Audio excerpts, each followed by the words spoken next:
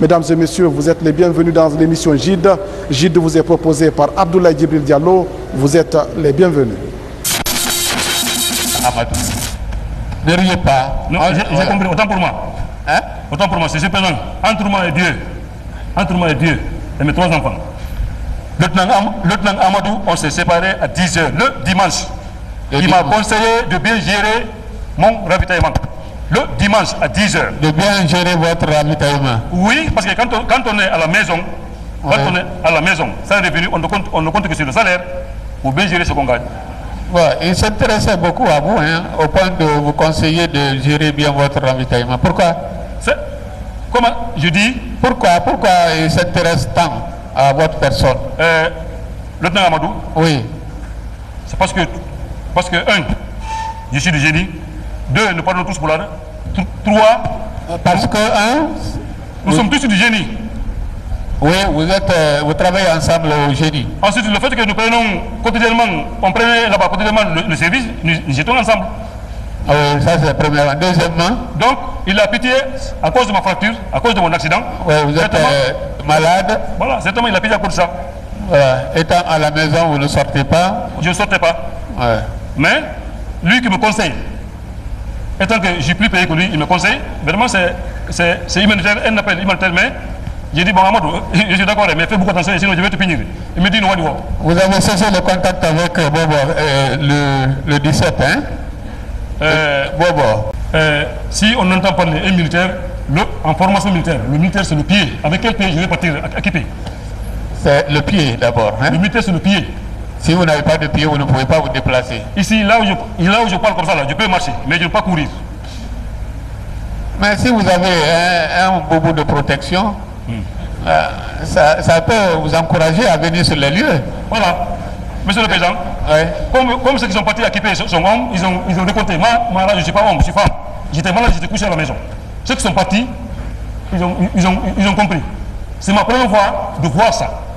Attaquer la résidence d'un président, c'est ma première fois de voir ça venir. Depuis, depuis ma naissance, en 20 ans de service. Moi, je ne connais pas. Je ne connais pas, c'est ma première fois de voir ça. Et puis, c'est pas le bout de protection qui, Le, le militaire, c'est tous les membres et tous les sens. C'est pas seulement le pied. Vous aussi, vous avez l'handicap sur le pied euh, droit. Mais puisque vous avez autre, vous êtes intelligent, vous pouvez jouer votre rôle, surtout que vous êtes protégé. Moi que vous, moi que vous parlez ici, je suis le fils d'un compagnon d'indépendance. Avant qu'il ne meure, M. Maradouba m'a dit si tu fais partie d'une région, je ne te bénis pas.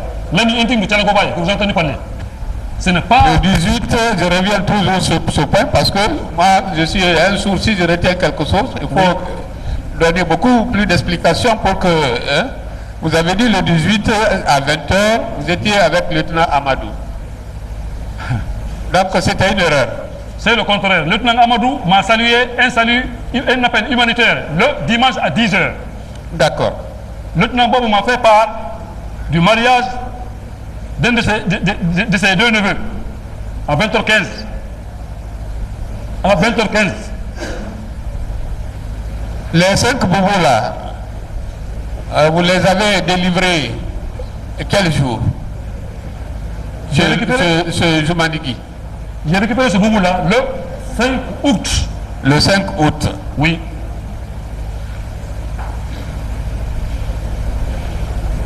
Vous avez distribué aux propriétaires Je n'ai pas distribué aux propriétaires. Je suis venu. J'ai passé par le génie parce que je suis du génie. En regardant si le ravitaillement est sorti pour prendre mon riz. Donc Yaya est parti et n'a pas amené son, son boubou. Yaya, il est parti à Sigirine Si je sans suis- son. Si je suis là, si je suis là, peut-être, c'est à cause de Yaya et frère. J'ai- l'argent qu'on m'a remis. Je le parle ici. Ceux qui sont au camp Samouri sont témoins. L'argent qu'on m'a remis pour le Maroc, pour mon traitement de mon pied, j'ai dit Yaya, ce qui est plus, ce qui est meilleur pour toi, tiens ça là. C'est avec 4 millions qu'on a confectionné les boubous. Avec 4 millions, tu peux déplacer de 100 corps, les dernières superficies de Maniana pour, pour, pour le, pour- pour le centre. Et tu peux déplacer un camion, embarquer tes bœufs, tu rejoins euh, Saladou. Je lui ai restitué, j'ai mis la fosse, j'ai mis les boubous dans la fosse. M. Diawara est témoin, le feu est témoin. Et les, les gendarmes qui sont partis là-bas sont témoins. Ah, parce que vous avez pris peur. Hein? Pourquoi vous mettez le boubou là-bas? Je, n'ai- pas peur. Ah, Écoutez, écoutez. Oui. Et vous vous avez dépensé 4 millions pour confectionner les boubous. Oui. Ça, c'est bien euh, après l'attaque du domicile. Oui. Mais puisque vous avez compris qu'il y a des, des- des enquêtes en cours, Oui. vous les avez euh, mis dans la fosse. Non, c'est, c'est, c'est pas des enquêtes. Je vous dis, Ah oui. Pourquoi vous avez eu peur au point de les mettre dans la fosse? Je vous dis, une fois, écoutez, une fois, j'ai appris qu'il y a eu attaque. Quand je suis parti au camp, à 9h, j'ai appris qu'il y y, a- eu attaque. Moi, j'ai changé de, numéro. Vous avez compris? Je n'ai pas besoin d'appeler qui que ce, soit. Je n'ai pas besoin d'appeler qui que ce soit. L'enfant, l'enfant que j'ai connu à Ma- Maniana et qui me dit qu'il va, qu'il va à Maniana, ce qui est mieux entre nous deux, ce qui est mieux entre nous deux, il dit, c'est avec ça qu'on a Monsieur Marat, présent, monsieur le procureur. Maître, vous êtes libre de mentir. Mais si vous mentez et que la Cour se rende compte que vous avez menti, ça va aggraver votre cas. Moi, dans cette affaire,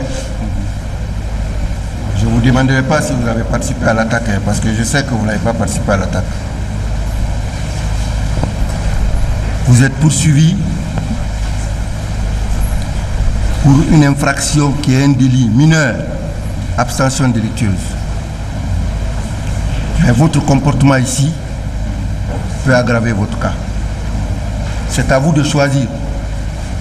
Tout ce que moi je vais vous dire tout de suite, c'est vous qui l'avez dit. Heureusement que vous venez de dire au président que vous êtes sain d'esprit et que vous n'avez jamais été malade avant. Donc ça me rassure. Vous avez divagué avec le président comme ce n'est pas possible. C'est pourquoi il vous demande si vous êtes sain d'esprit. Mais moi je vais aller avec vous étape par étape.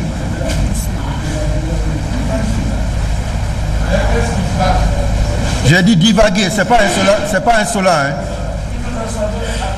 Il a divagué. Voilà. Voilà. Voilà.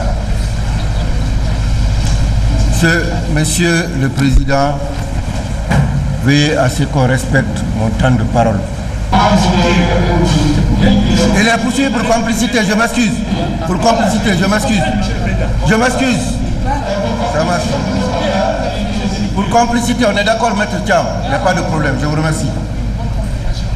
Monsieur Mamadou Adamabari, euh, Mara,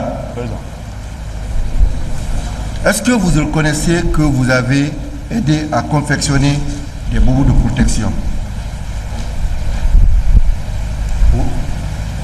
Oui, Qui vous a contacté pour vous demander de l'aider à avoir des boubous de protection? C'est Yaya et frère. Qui? Yaya et frère. Je n'ai pas entendu.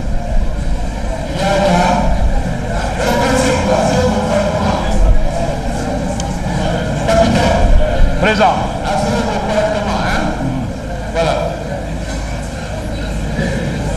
C'est Yaya et qui?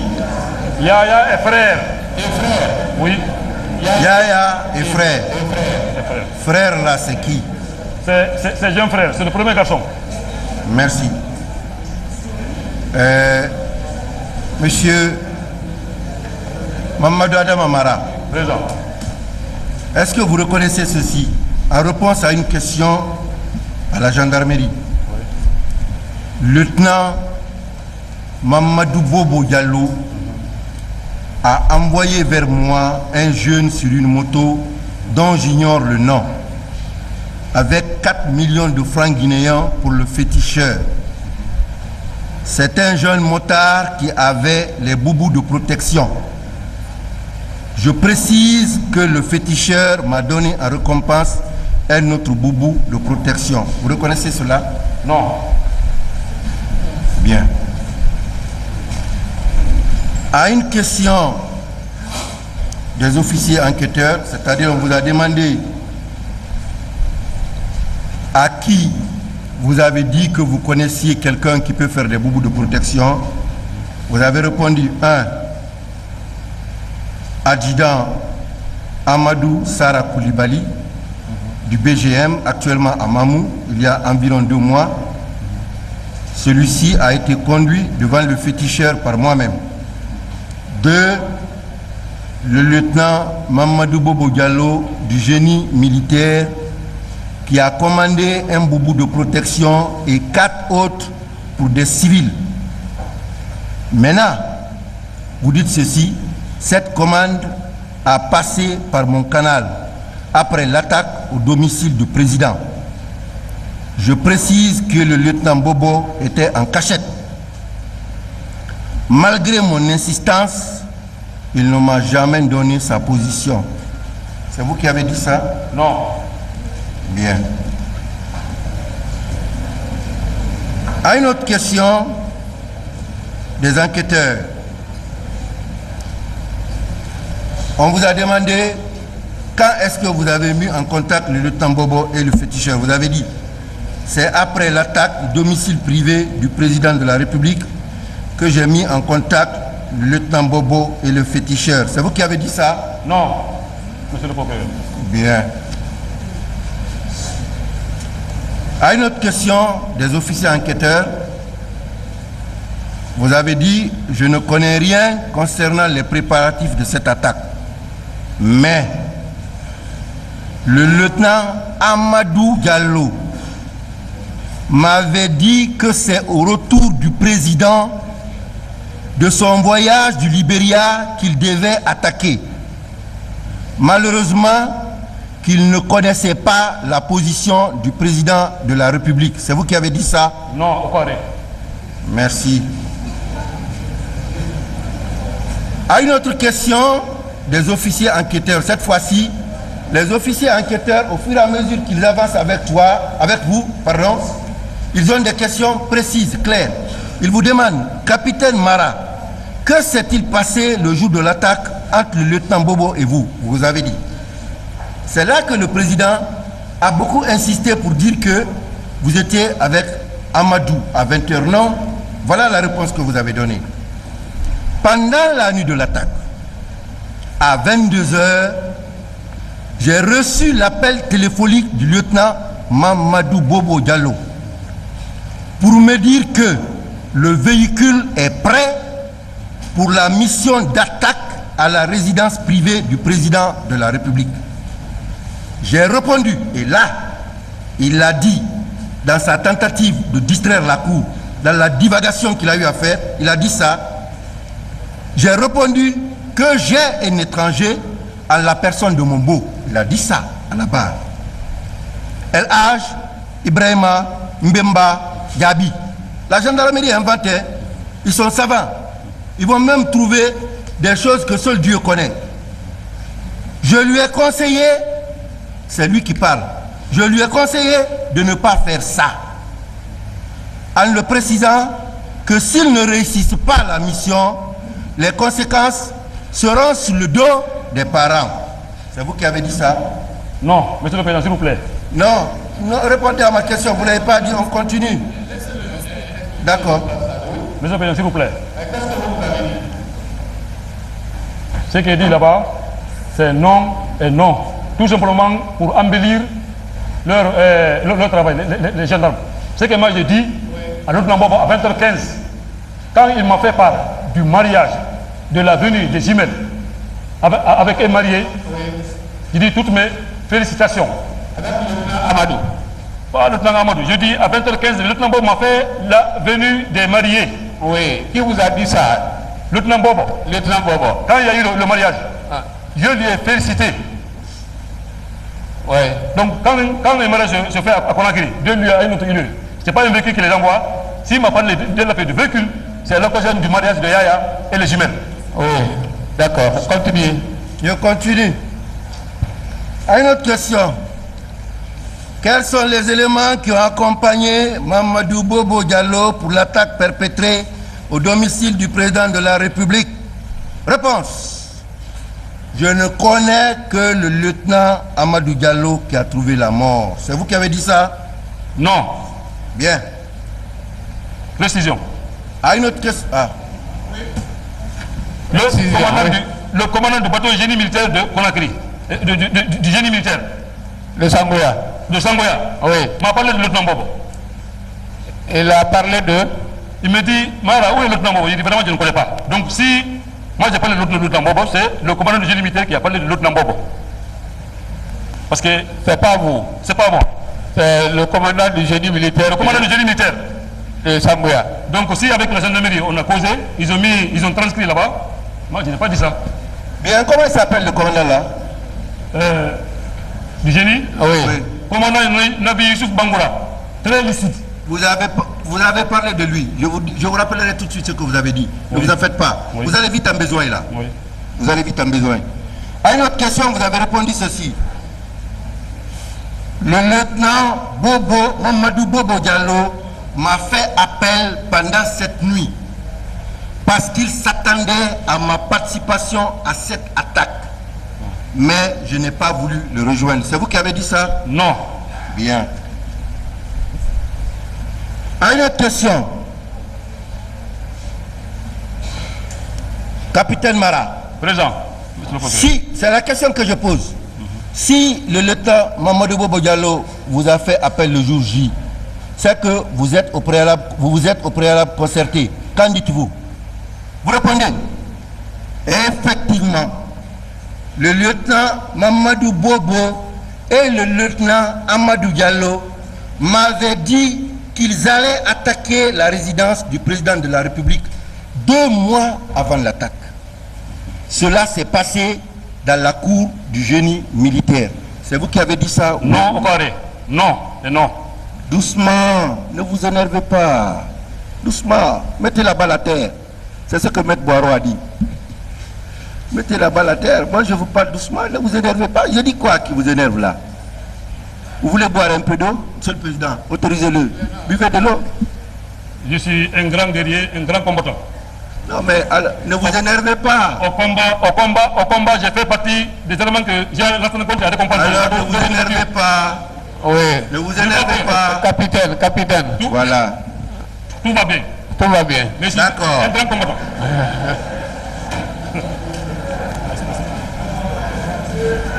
Monsieur le Président, Monsieur le Président, avec votre permission, avec votre permission, Oui. à une autre question, Capitaine Mara, quelles ont été les raisons évoquées par les lieutenants Mamadou Bobo Diallo et Amadou Diallo pour que vous agissiez de la sorte Le lieutenant Amadou Diallo m'a dit, et ça, c'est pour ceux qui disent ici que le lieutenant Amadou Diallo n'a aucun niveau, qu'il n'a pas d'ambition. C'est pas moi qui parle, hein, c'est le capitaine qui parle. Le lieutenant Amadou Diallo m'a dit qu'il voulait être président de la République. Quant au lieutenant Mamadou Bobo Diallo, il m'a dit que le choix se fera entre le commandant AOB et le lieutenant Amadou Diallo. Mais plus tard, il me dira que le pouvoir devait revenir à M. Baouri, deuxième personnalité de l'UFDG. C'est vous qui avez dit ça? Non, carré. Monsieur le Président. Oui. Je dis bien, tout ce que j'ai parlé et j'ai signé, c'est devant le colonel Ossé, le président de la commission nationale d'enquête. Tout ce que j'ai signé et j'ai parlé, c'est devant le colonel Ossé, qui ne voulait même pas ce que je viens ici, parce qu'il sait que je suis malade. Je vous remercie. Non et non. Vous avez, vous avez quand même lu euh, votre déclaration à la PJ. Ce qu'il est en train de lire là, est-ce qu'on vous a fait lire ça? Non. Vous n'avez pas signé? Non, je n'ai pas signé.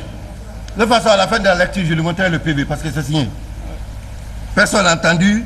Capitaine Mamadou Mara, signature sur toutes les pages. Voilà. À une autre question. Je vais aller vite parce qu'il est 16h, Monsieur le Président.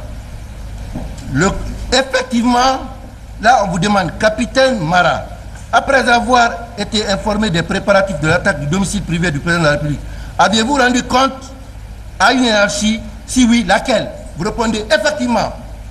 J'ai appelé le commandant Diogo Diallo commandant adjoint des services de renseignement du ministère de la Défense nationale.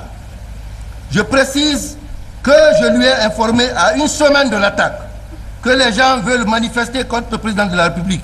J'ai persisté en lui disant que j'ai mes 50 ans de vie et que je ne suis pas un mineur pour mentir.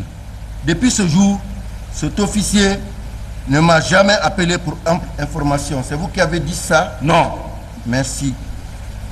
À une autre question, capitaine, vous persistez toujours, vous dites, je n'ai pas rendu compte à ma hiérarchie.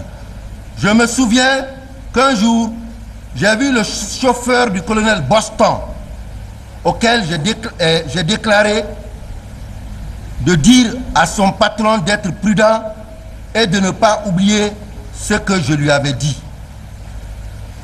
Capitaine Mara, qu'est-ce que vous avez dit au colonel Boston, commandant du bataillon génie militaire? Réponse. En présence du commandant Tcherno Comté du génie militaire, j'ai dit au colonel Boston que les éléments de l'ex-garde du général Konaté ont commencé à regrouper des armes pour des, pour des intentions non élucidées. Aussi, il m'a répondu qu'il a compris et qu'ils prendront les dispositions. C'est vous qui avez dit ça? Non. Bien. Vous avez dit ceci par rapport au boubou. Le président a tellement insisté. Vous avez dit ceci. Oui, j'ai fourni une liste de six personnes aux féticheurs, dont deux militaires et quatre civils. Ce sont 1. Capitaine Mamadou Mara, moi-même. 2. Lieutenant Mamadou Bobo Diallo. 3. Amadou Ouri Diallo. Mais en fait, ce n'est pas Amadou Ouri Diallo, c'est Amadou Ouri Ba. 4. 4. Amadou Ba. 5. Mamadou Lamine Diallo. Mamadou Lamine Diallo dont il s'agit là est autour de, la, autour de la personne de qui veut faire diversion. C'est Mamadou Lamine Diallo dont on parle toujours, Lamine Diallo, qui est le financier de toute cette affaire et qui est le secrétaire fédéral de l'UFDG en Allemagne. C'est de lui qu'on parle. Il dit la sixième personne, je ne me souviens pas le nom du dernier élément. Toutefois, j'ai la liste chez moi à domicile. C'est vous qui avez dit ça? Non. Mais je peux faire des précisions sur, euh, de- de- dans ce cas, si vous demandez. Pardon? Comment? Je dis, Oui, non, c'est pas moi qui dis ça, mais en ce qui concerne la liste là, oui, je peux, je peux faire des précisions. oui. On vous écoute. Ça, Devant la cour ici, vous avez reconnu cinq boubous. je, je, je dis, Oui, Lamine que je n'ai jamais connu Lamine. Mais quand Yaya, lorsque les enfants ont envie de quitter Sigiri, les Oui. bœufs qu'ils ont, ils, ils bazardaient. Quand l'enfant là envoie, envoie le bœuf je ne sais pas où il dépose, dans le village de Fouta, c'est Lamine qui payait les bœufs. Mais c'est l'argent de l'enfant, Yaya, propre, qui constituait ces, ces, ces, ces bobos-là. Ce n'est pas Lamine. Mais c'est Lamine qui payait les bœufs avec, Yaya. non, on parle de la répartition des boubous de protection. Non, monsieur le président. Bon, les cinq boubous que vous, vous avez reconnus ici étaient destinés à qui et qui? Je vous dis qu'en dehors de Lamine, en dehors de Lamine et moi, c'est pour les enfants de Magna. La mine là, qui est ce Lamine là? Ce monsieur Lamine là est un cousin, est un cousin à Yaya. Toute la façon, c'est lui qui paye le bœuf avec, avec Yaya. Où il habite, euh, ce Lamine là? Où il est? Non, non, mais, sauf moi, je ne connais pas où, où il habite. Entre moi et Dieu, je ne connais pas où il habite. Je ne le connais pas. Donc, euh, cinq boubous, vous avez un, Lamine a un, Yaya a un, Kerné Bobo a un et le cinquième. Les, choses, les, les autres frères du, du, du, du- du village. Jeune frère au village. Oui. En fait, Monsieur le Président, pour vous aider, ces boubous n'ont jamais été utilisés pendant l'attaque. C'est des boubous qui ont été confectionnés pour couvrir la fuite de ceux qui ont participé à l'attaque. C'était des boubous, je crois, qui avaient certaines, certains pouvoirs, comme ils peuvent le croire, qui pouvaient permettre à ces gens-là de fuir. Voilà la raison. Ça n'a jamais été utilisé pendant l'attaque. Il, il a été consulté après l'attaque. À la suite du président, je vais vous demander qui a donné les 4 millions qu'on vous a remis? Je répète ici devant la cour, C'est l'argent de Yaya, sa sueur. Merci. De toutes les façons, Yaya n'est pas venu de lui-même, c'est quelqu'un qui a envoyé Yaya. Yaya, Oui.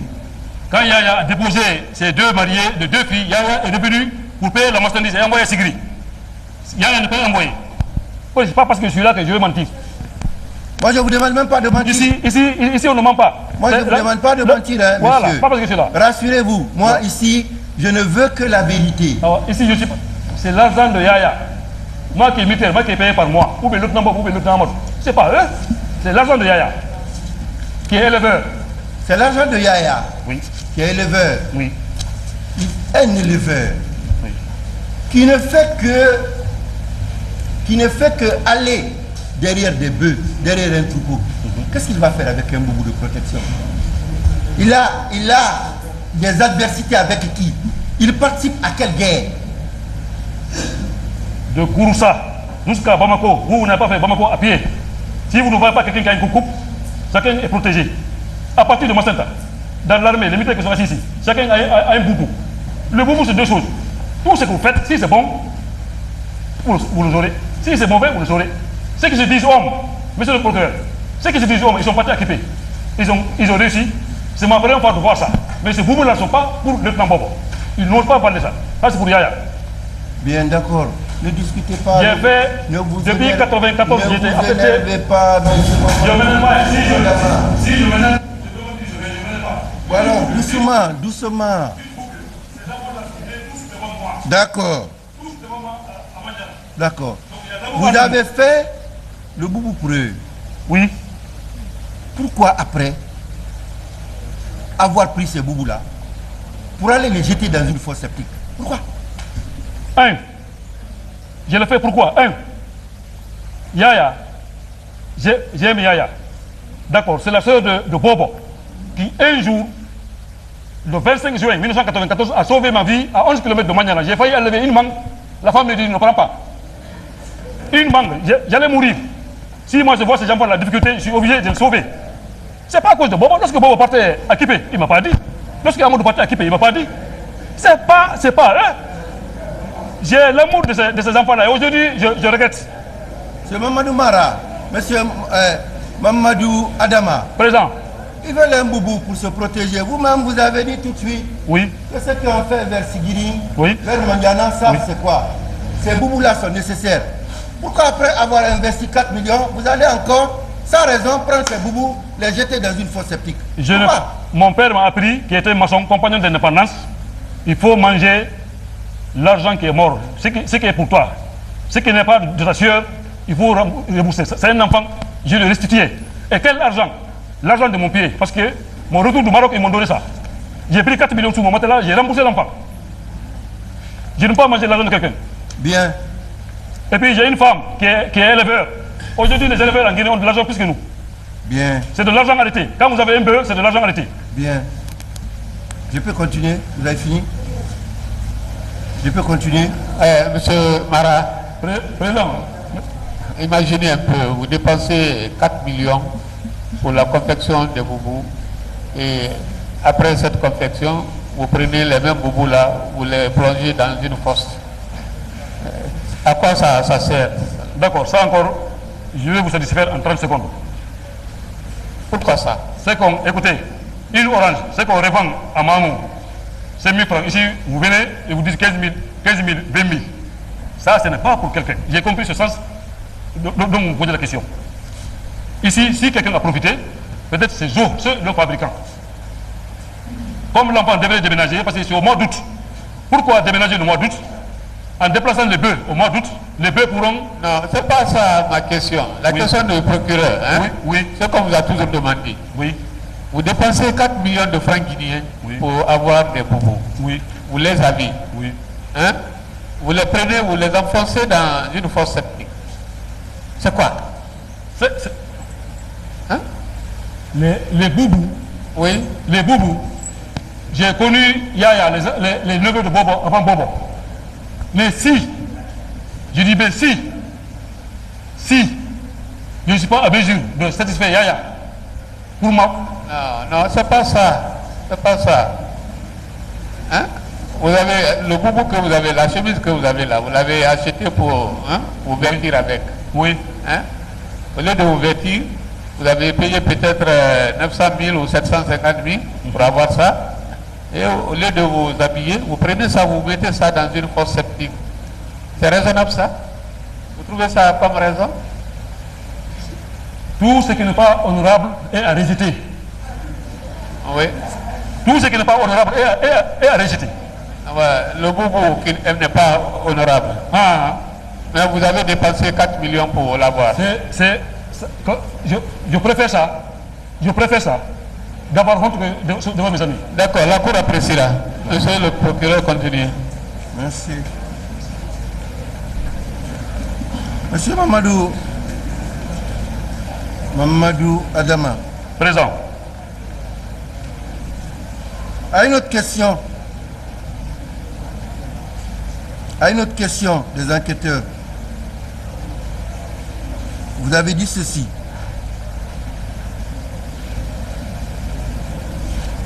Je persiste que j'avais informé le commandant Diogo du deuxième bureau du ministère de la Défense une semaine avant l'attaque.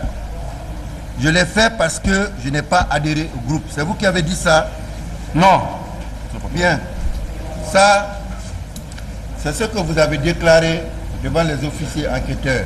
Il y a une signature sur toutes les pages du PV. Est-ce que vous reconnaissez cette signature? Montrez-lui.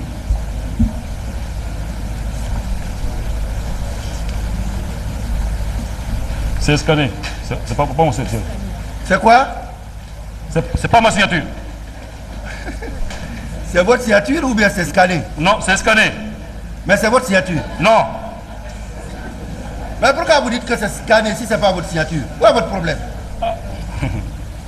Si c'est scanné, ce n'est pas votre problème, ce n'est pas votre signature. Dites simplement, ce n'est pas ma signature, mais vous dites c'est scanné, c'est parce que c'est votre signature. Oh, c'est facile ça. hein. Bon, maintenant, je vais passer rapidement, je ne vais pas retarder, parce que la mauvaise foi, moi je ne discute pas avec ça. La Cour appréciera. Ça, c'est le procès verbal devant le juge d'instruction. Monsieur le Président, honneur membre de la Cour, je fais rapidement la lecture. Actuellement, je suis convalescent et de ce fait, je joue au damier. Non, je passe ça. Voilà ce qu'il a dit. Le dimanche 17 juillet 2011, le lieutenant Amadou, ça c'est devant le pôle de juge d'instruction, hein. le lieutenant Amadou Diallo m'a appelé au téléphone aux environs de 10 heures pour me dire de chercher beaucoup de sacs de riz parce qu'il allait faire un mouvement militaire, c'est-à-dire attaquer le domicile, c'est-à-dire attaquer le domicile du président de la République.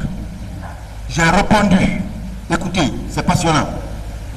J'ai répondu que Amadou, tu as oublié que j'avais rêvé de toi et que tout ton corps était couvert de fourmis. Et si tu t'hasardes à effectuer cette opération, tu ne t'en sortiras pas. Et tous tes proches en pâtiront. C'est nous qui parle, devant le pool de juge. Non, monsieur le président. C'est devant le de juge d'instruction. Je ne vous demande même pas de confirmer ou pas. Là, moi je considère que c'est la vérité. Voilà. Il continue. Il m'a répondu à son tour en poulard, à ces termes. Nous, nous Wadeni, c'est-à-dire, je le ferai quelles que soient les conséquences. Le lendemain, le lieutenant Mamadou Bobo m'a appelé au téléphone aux environs de 22 heures pour me dire qu'ils sont prêts pour attaquer le domicile du chef de l'État et que le véhicule est garé à Koza le long des rails. Ça, ça a été dit déjà ici. Non. Ça, s'il vous plaît, laissez-moi parler. D'autres sont venus dire ici que le véhicule était garé le long des rails et que c'est à partir de là-bas qu'ils ont pris le départ. Vous pouvez ne pas reconnaître, je n'ai pas de problème. Je n'ai aucun problème. Également, je lui ai déconseillé de telles pratiques avant de lui dire que si de, telles opérations échouent, et toi et toute ta famille en périront. Pour éviter d'autres appels, j'ai dit à Bobo que j'ai reçu encore la visite de mon beau. Le 19 juillet, aux environs de 7 heures, pendant que j'effectuais des exercices physiques pour le rétablissement de la fracture que j'ai eue au niveau du genou, et qui, qui fut traité au Maroc le 12 septembre 2010, j'ai rencontré un voisin nommé Moïse qui m'a informé que des militaires ont attaqué la nuit dernière le domicile du président de la République, Sisa. J'ai directement, directement pensé que c'était l'œuvre des lieutenants suscités et je me suis demandé quelle folie a poussé ces enfants à commettre ce acte. À mon avis, les lieutenants Mamadou Bobo Diallo et Amadou Diallo seraient financés par un certain Lamine Diallo, dont Bobo ne cessait de parler le nom. Deux mois avant l'attaque du domicile du président de la République, j'ai informé le commandant du génie militaire, le commandant Nabi Youssouf Bangoura, le chef d'état-major adjoint de l'armée de terre, le colonel Edouard Théa, qui s'apprêtait d'ailleurs pour une mission sur Kanka, et le commandant Tierno Conté, ingénieur bâtiment au génie militaire, que les militaires veulent faire un mouvement, donc de prendre des dispositions, car une femme de Mali, Yembere, une camarade de promotion que j'ai perdu de vue depuis 1985 et dont j'ignore le nom, a porté à ma connaissance qu'elle a vu notre cousin Ousmane Koulibaly et ses amis en train d'emmagasiner des armes chez lui. Après l'arrestation de Ousmane Koulibaly, c'est le même lieutenant Bobo qui a dissimulé les armes en les sortant du domicile de ce dernier. Je précise également qu'à une semaine avant l'attaque, j'ai tenu à informer également mon ami, commandant Diogo. C'est trop clair, c'est trop clair. Et ça, je ne vais pas vous retarder, Monsieur le Président, c'est devant le pool des juges d'instruction. Si vous permettez, comme vraiment, c'est moi-même qui vous ai demandé qu'on suspende à 16 heures pour des raisons sociales, je voudrais m'arrêter là et si vous permettez pour continuer demain matin. Je vous remercie. Euh, Je pense qu'elle va la formuler par euh, l'organe de... Voilà. Monsieur le Président, au nom de la défense, euh, nous avons constaté vous-même, ici, dans cette que l'accusé, comme l'a dit d'ailleurs Monsieur le procureur général, divague. Et vous avez vous-même posé une question à l'accusé de savoir ce qu'il est sain d'esprit. Il vous a répondu.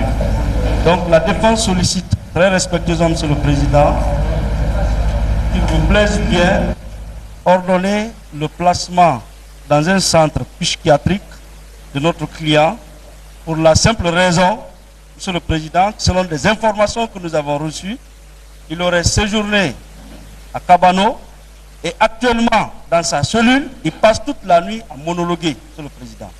Ce qui prouve euh, euh, à provision qu'il n'est pas en possession de toutes ses facultés mentales, Monsieur le Président. Donc voilà la demande que la défense formule à votre intention. Je vous remercie. oui, merci.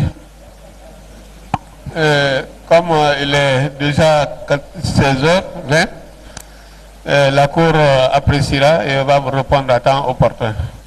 Hein? Voilà. L'audience est suspendue et sera reprise demain à 9h.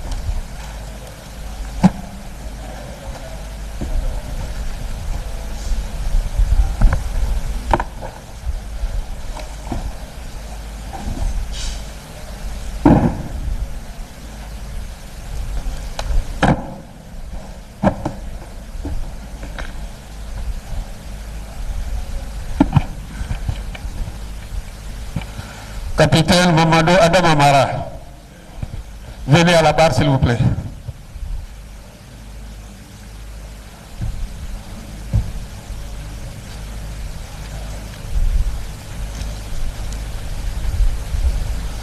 Oui, asseyez-vous. Oui. Un message, s'il vous plaît. À l'entame même euh, Oui, oui, à l'instant même. Oui. Bien. Euh, je commence d'abord par euh, l'accusé Jean Guilavogui. Jean Guilavogui. Il Oui. n'arri- il n'arrive plus à supporter les audiences parce qu'il a, il a des douleurs. Il ne dort pas la nuit.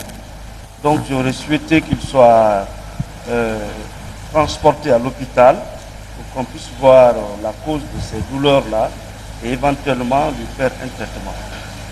Oui. Après? Bon, après, c'est par rapport à l'accusé qui comparaît ici. Hier soir, Monsieur le Président, euh, la défense avait sollicité qu'il soit admis dans un centre psychiatrique en raison du fait que, Monsieur le Président, vous-même, vous l'avez posé la question de savoir est-ce qu'il est sain d'esprit. Le procureur général aussi a demandé, euh, a, fait constater qu'il est en train de divaguer. Effectivement, il a été admis au Cabano.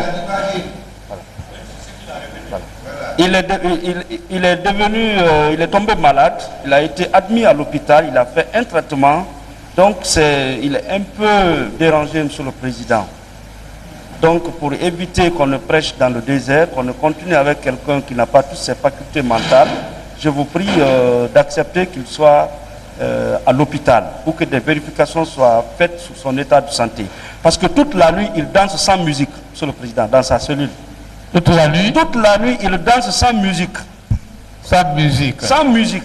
Depuis quand? Il a commencé ça quand? Depuis qu'il est arrivé à la maison Et centrale. vous n'avez pas signalé ça au parquet? Si son avocat, euh, notre confrère Maître Cham, le premier avocat, avait toujours signalé cela, et il passe toute la nuit à parler seul sur le président. Or, euh, euh, Monsieur le Président, son état de santé ne le permet pas de suivre ce procès-là. Et on dit quelque part que soit il est atteint de folie ou de démence. La folie, Monsieur le Président, c'est l'affection mentale grave, telle que la cause, caractère de ce qui échappe au contrôle de la raison, du bon sens, acte déraisonnable, excessif. Vous l'avez constaté, il est excessif dans ses propos. Et la démence, c'est un peu la perte euh, des facultés mentales. Il n'a pas toutes ses facultés mentales, Monsieur le Président. Le constat est clair. Vous l'avez fait, le parquet l'a fait, l'assistance au- aussi l'a fait. Donc je vous prie, Monsieur le Président, ce qui a été déjà dit, c'est dit, ce qui est noté, c'est noté. Qu'il vous plaise bien, ordonnez qu'il soit à l'hôpital et que les médecins nous disent exactement s'il peut continuer ou pas. Monsieur le Président, ça nous, ça nous ferait gagner en temps, Monsieur le Président. Très sincèrement. Je Voilà, pour euh, Jean, Jean qui est malade. Lui, maintenant, on peut l'amener à l'hôpital. Mais s'agissant de- du capitaine Mara, et lui-même, il a déclaré ici qu'il est saint d'esprit. Il l'a dit, non? Ici? Monsieur Mara, Président, Monsieur le Président. vous vous sentez bien? Des, fois oui, des, fois non.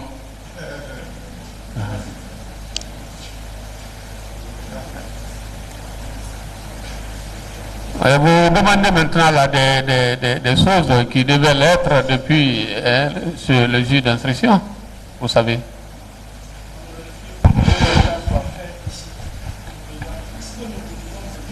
Parce que euh, quand il y a un dossier criminel, on regarde tout, le passé de, l'accusé et son état de santé, on dépose même hein, le certificat médical au dossier. Mais cela n'a pas été fait jusqu'à maintenant et vous demandez qu'il soit envoyé à l'hôpital. On va... Monsieur le procureur, voilà. Euh, Avez-vous des observations par rapport à cette demande? Monsieur le Président, c'est du dilatoire. Ce n'est que ça. Moi, je dis, je le répète, que l'accusé divague. Mais c'est parce qu'il est de mauvaise foi. Il va devant, il recule, il va devant, il recule, mais il est de mauvaise foi. À, à votre question, il a dit, je suis sain d'esprit et de corps. Et puis, Monsieur le Président, il se rappelle de choses qu'un malade mental ne se souviendrait jamais. Il sait qu'il a une fracture, il connaît la date. Tout ce qu'il a dit ici, il a pu dans le temps se situer. C'est une mauvaise foi. Il a dit des choses devant les officiers enquêteurs, devant les juges d'instruction, qu'il veut nier aujourd'hui. Écoutez, Monsieur le Président, moi je ne suis pas un expert. hein. S'ils veulent qu'on l'amène chez un psychiatre qui va l'examiner, envoyons-le. Il va revenir rapidement. Il va revenir rapidement. Parce que lui, il n'a rien. Rien. Faire semblant là, devant la cour, dire qu'on est malade, c'est une chose. Aller devant un médecin, un spécialiste, qui sait observer, qui va savoir que vous êtes en train de faire semblant, c'est aussi facile que tout, je vous assure. Monsieur le Président, donc, moi je dis, pour ne pas retarder ce débat, comme vous l'avez si bien dit, lui-même il vous a dit qu'il est sain d'esprit et de corps. Continuons le débat. Je vous remercie. Oui. Maître.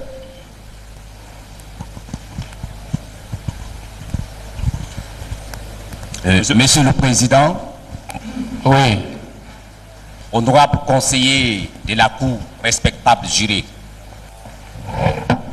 je le dis et je le répète, j'insiste là-dessus, Monsieur le Président, ce procès est loin d'être un spectacle.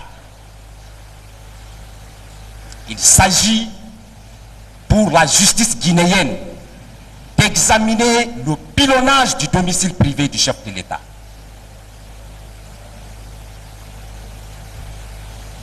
Je tiens, Monsieur le Président, à la défense absolue des accusés. Parce que pour que le droit soit dit, il faut faire en sorte que les droits de tous les acteurs soient respectés par la Cour. Il faut débarrasser donc, Monsieur le Président, ce procès de toute scène de polémique ou de toute scène, Monsieur le Président, qui apparaîtrait comme l'expression d'une volonté affichée tendant, Monsieur le Président, à retarder inutilement la conduite des débats. L'accusé qui comparaît, en tout cas c'est notre observation, est largement pilonné par l'interrogatoire de la Cour et par le contre-interrogatoire du ministère public. Nous ne sommes même pas encore intervenus. Monsieur le Président, vous avez interrogé Monsieur Mamadou Adam Amara hier. Répondant à une de vos questions, il vous a dit, je suis saint d'esprit. Je suis saint d'esprit. Mais moi, je comprends mes excellents confrères de la défense, ils sont en quête d'une cause de non-imputabilité. Parce que il y a les dispositions de l'article, Monsieur le Président, 59, alinéa premier, qui disent il n'y a ni crime ni délit lorsque le prévenu était en état de démence. Mais le code dit au moment de l'action, mais je crois que c'est une mauvaise stratégie. Même si aujourd'hui, même si aujourd'hui, Monsieur le Président, il était établi, ce qui est loin d'être le cas, même s'il était établi tant soit peu, que l'état actuel de l'accusé Mamadou Adam Mara s'apparente à un état de, de- déficience mentale. Monsieur le Président, une telle question est laissée au- à, la discrétion, à la libre discrétion du juge du fond. Donc de vous-même.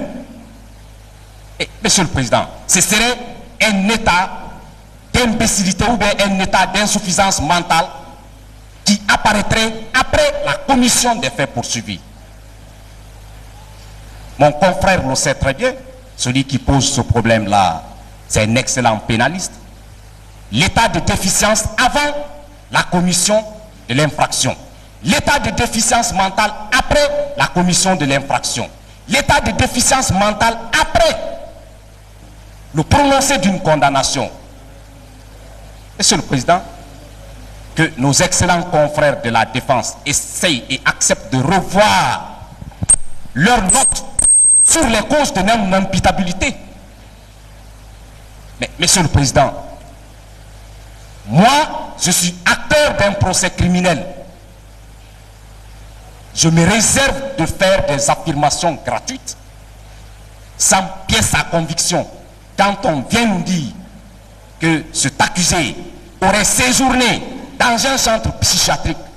Monsieur le Président, à part ces affirmations inventées de toutes pièces pour pouvoir soustraire cet accusé traqué déjà par la Cour, quelle pièce d'appréciation la défense a produit au dossier de la procédure.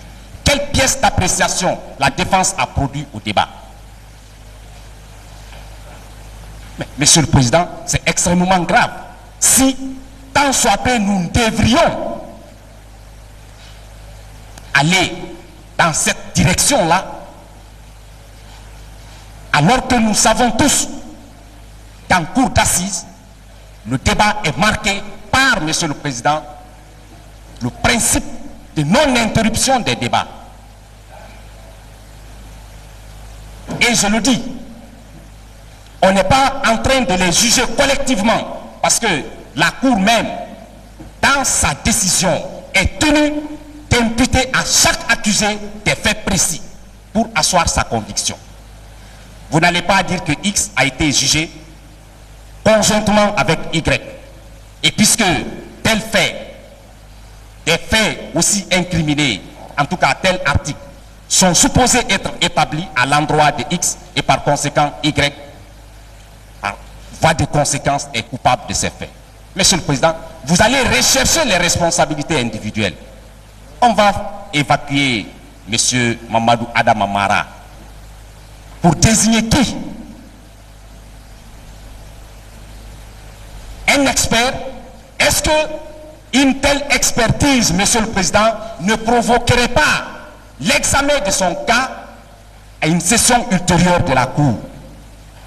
Moi, j'aimerais bien, Monsieur le Président, que le cas de M. Mamadou Adama, si celle était la volonté de la Cour, soit examiné. Mais, Monsieur le Président, que M. Mamadou Adama, que son cas alors soit détaché du cas des autres. Si un tel examen devrait provoquer des interruptions dans la conduite des débats en ce qui le concerne. Monsieur le Président, depuis son interpellation, de l'enquête préliminaire, du cabinet d'instruction, de la chambre d'accusation, de la Cour suprême, de la procédure devant la chambre de renvoi, de la saisine de la Cour d'assises. C'est aujourd'hui, on va nous parler d'état d'insuffisance mentale, mais je crois que, Monsieur le Président, c'est grossier comme argument de défense. C'est léger comme moyen de défense. Nous, nous estimons, Monsieur le Président, que ce qui est avancé de l'autre côté est de nature simplement à vous distraire. On nous dit qu'il aurait passé la nuit à danser sans musique.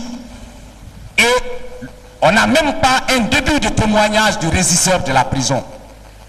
Monsieur le Président, nos excellents confrères de la défense, tout comme nous, personne ne passe la nuit à la maison centrale. On ne fait même pas, Monsieur le Président, référence, même à part le régisseur du témoignage même d'un agent d'escorte.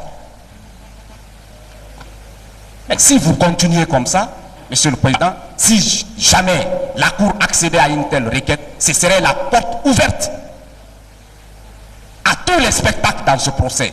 Parce que pour peu qu'un accusé soit traqué, il va vous dire, je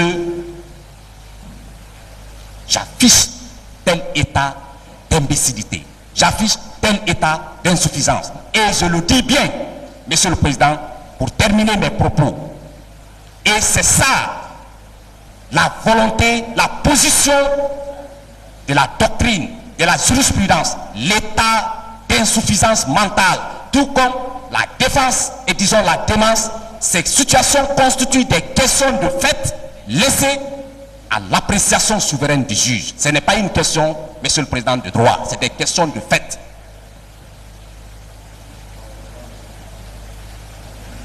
Vous, vos conseillers, les jurés, vous êtes les seuls habilités à dire oui nous estimons que telle situation, tel accusé présente tel état d'insuffisance mentale. Si tel n'est pas le cas, Monsieur le Président, balayez d'un revers de la main cette tentative de distraction de la Cour pour nous permettre d'épingler M. Mamadou Adam Amara sur le reste des faits qui lui sont imputés. Je vous remercie. Merci, maître. Maître Kamano. Monsieur le Président, je suis abasourdi que la défense vous présente à ce stade du débat une telle demande.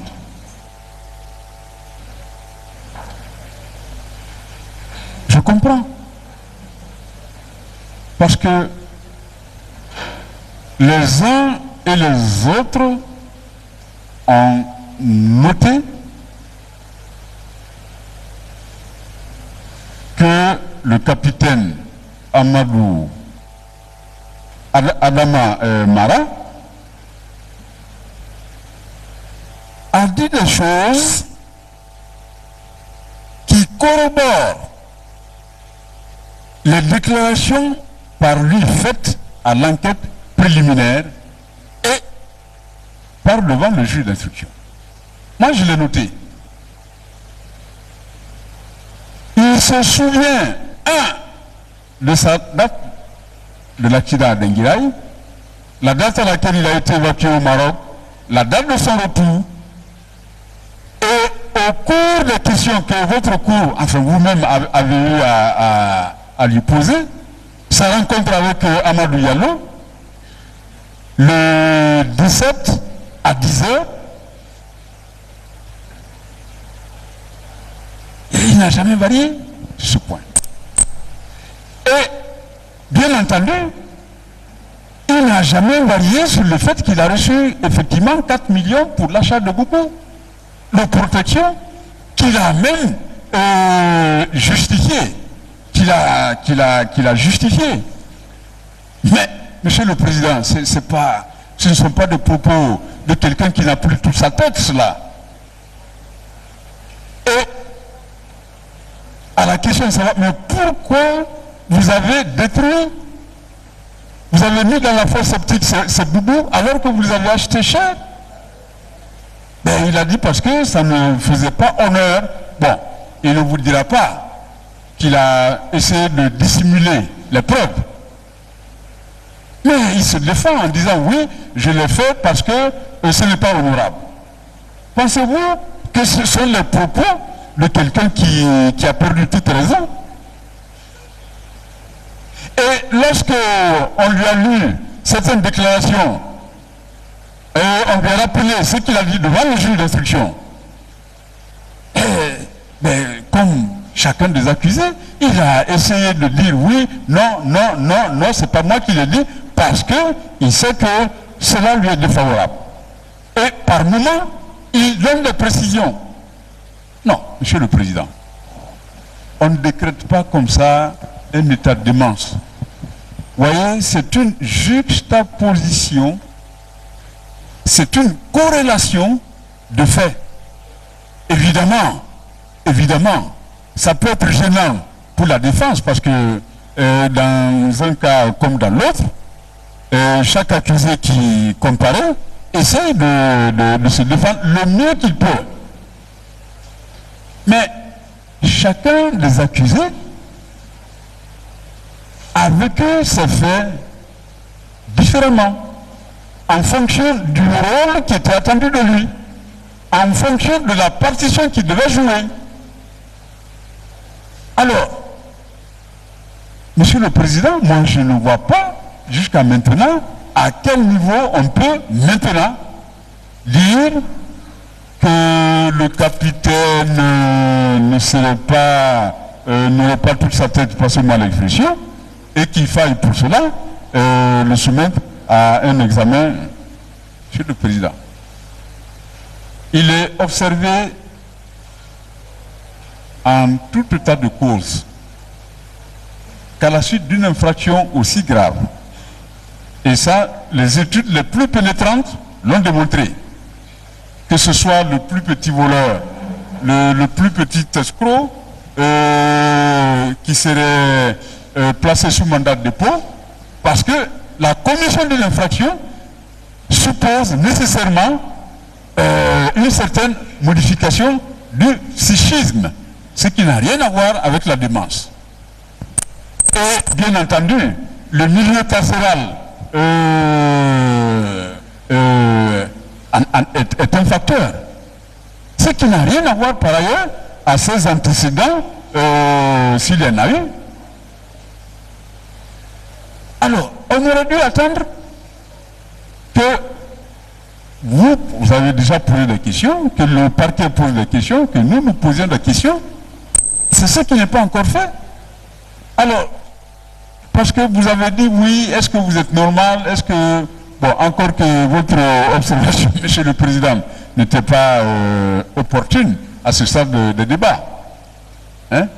Et, il aurait fallu éventuellement que, euh, avec euh, persuasion, qu'il se révèle véritablement que euh, le capitaine hein, n'avait pas tout son jugement. Ce qui, encore une fois, n'est pas le cas. Donc, il a joué sa partition, c'est un fait, c'est acquis au débat. Il est constant sur euh, l'essentiel de cette déclaration, un fait, c'est acquis au débat. Il n'a pas varié sur euh, ces questions-là. Hein? Il, il s'est défendu du mieux qu'il a pu. Alors, pourquoi va-t-on interrompre le débat en ce qui le concerne pour dire, bon, il faudrait maintenant ordonner, euh, hier on avait dit son placement euh, dans un milieu hospitalier?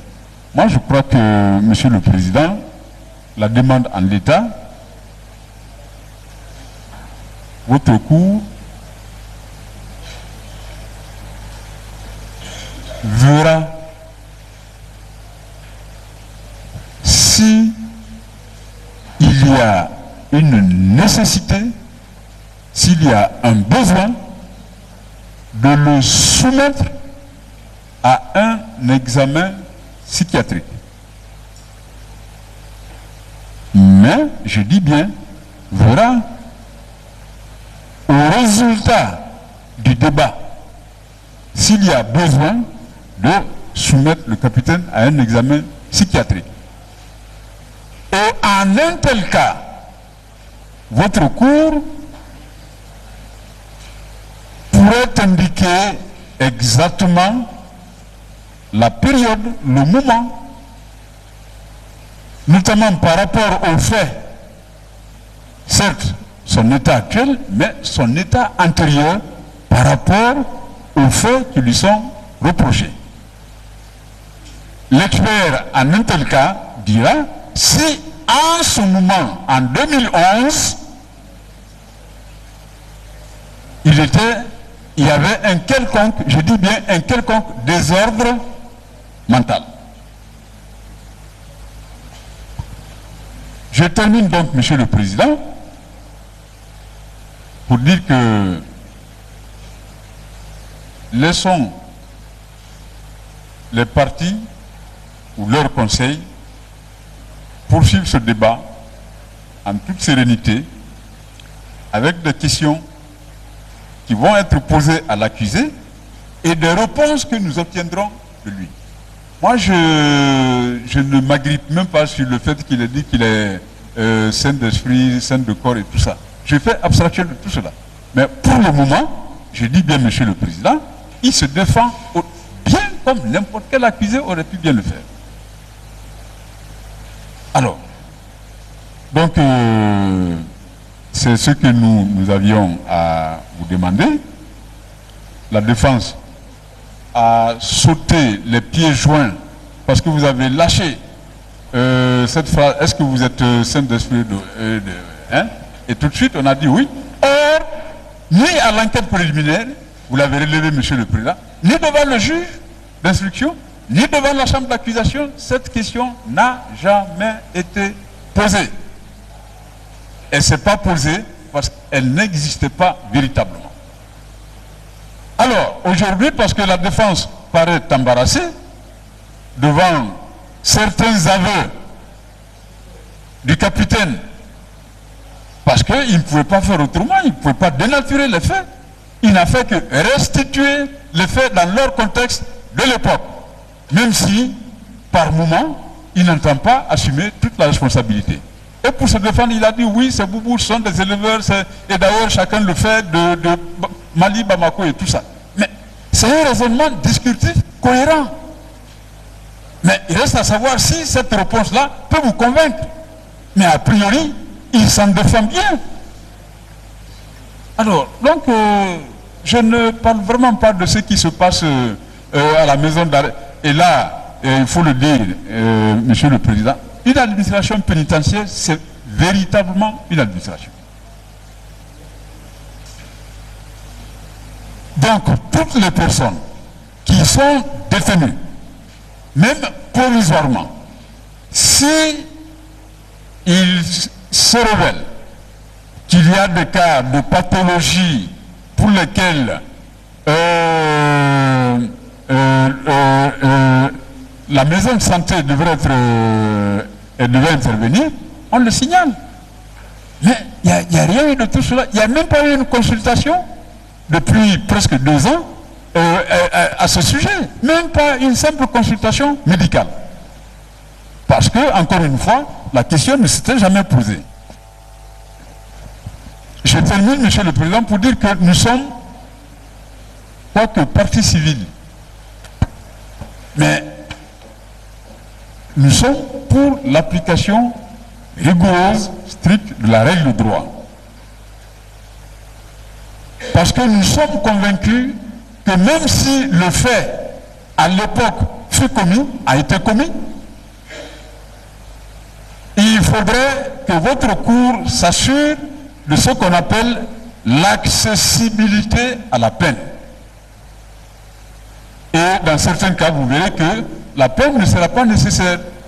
À la peine, on va substituer ce qu'on appelle une mesure de sûreté à prédominance neutralisatrice ou simplement en soumettant le sujet à une cure. Mais ça, c'est lorsque votre cours aura éventuellement à se prononcer sur les cas de responsabilité et bien entendu de la peine. Donc, euh, n'allons pas vite en besogne. Laissons ce monsieur, encore une fois, il tient un récit cohérent qui ne prête à aucune confusion et il assume sa part de responsabilité, il rejette ce qu'il entend rejeter, mais euh, voilà, on ne peut pas lui faire grief parce qu'il a dit euh, certaines vérités. Je vous remercie, monsieur le Président. Voilà, merci, maître. Oui. Monsieur le, monsieur le Président, Euh, vous reprenez? Oui, juste euh, une, euh, une dernière précision. Oui. Une dernière précision pour euh, ne pas violer les dispositions de l'article 300 du Code de procédure pénale qui dispose les débats ne peuvent être interrompus. Ils doivent continuer jusqu'à ce que la cause soit terminée par l'arrêt de la cour d'assises. Ils ne peuvent être suspendus que pendant le temps nécessaire au repos des juges et de l'accusé. Monsieur le Président, même si la Cour accédait à la demande formulée par euh, nos excellents confrères de la demande et de la défense, l'exécution d'une telle mesure ne se ferait pas de façon spontanée. Parce qu'il faudrait que l'expert désigné, la désignation de l'expert soit faite dans les conditions définies à l'article 162. Il faudrait qu'un délai soit imparti à l'ex- l'expert pour produire, Monsieur le Président, ses conclusions. Il faudrait qu'il y ait des débats avec la possibilité pour la partie civile de demander une contre-expertise. Donc, Monsieur le Président, puisque ce chemin semble être long, si jamais la Cour devrait tant soit peu accéder à cette demande, qu'il vous plaise, renvoyez le cas de Mamadou Adamaba à la prochaine session de la Cour d'assises et nous allons continuer avec les autres. Je vous remercie. Voilà, merci. euh, Oui. Maître Bari. Euh, euh, D'abord, vous êtes les demandeurs, hein Vous êtes les demandeurs. Attendez. Attendez, attendez, on va évacuer cette question-là. Monsieur le Président, je vous renvoie à la page 27 du réquisitoire de Monsieur l'avocat général, réquisitoire afin de saisine de la chambre d'accusation. Page 27, dernier alinéa.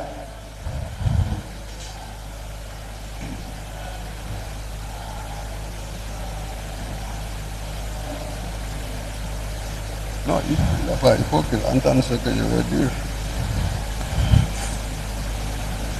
Je peux dire, je cite, hein, aucun renseignement n'est versé au dossier sur la personnalité des personnes poursuivies.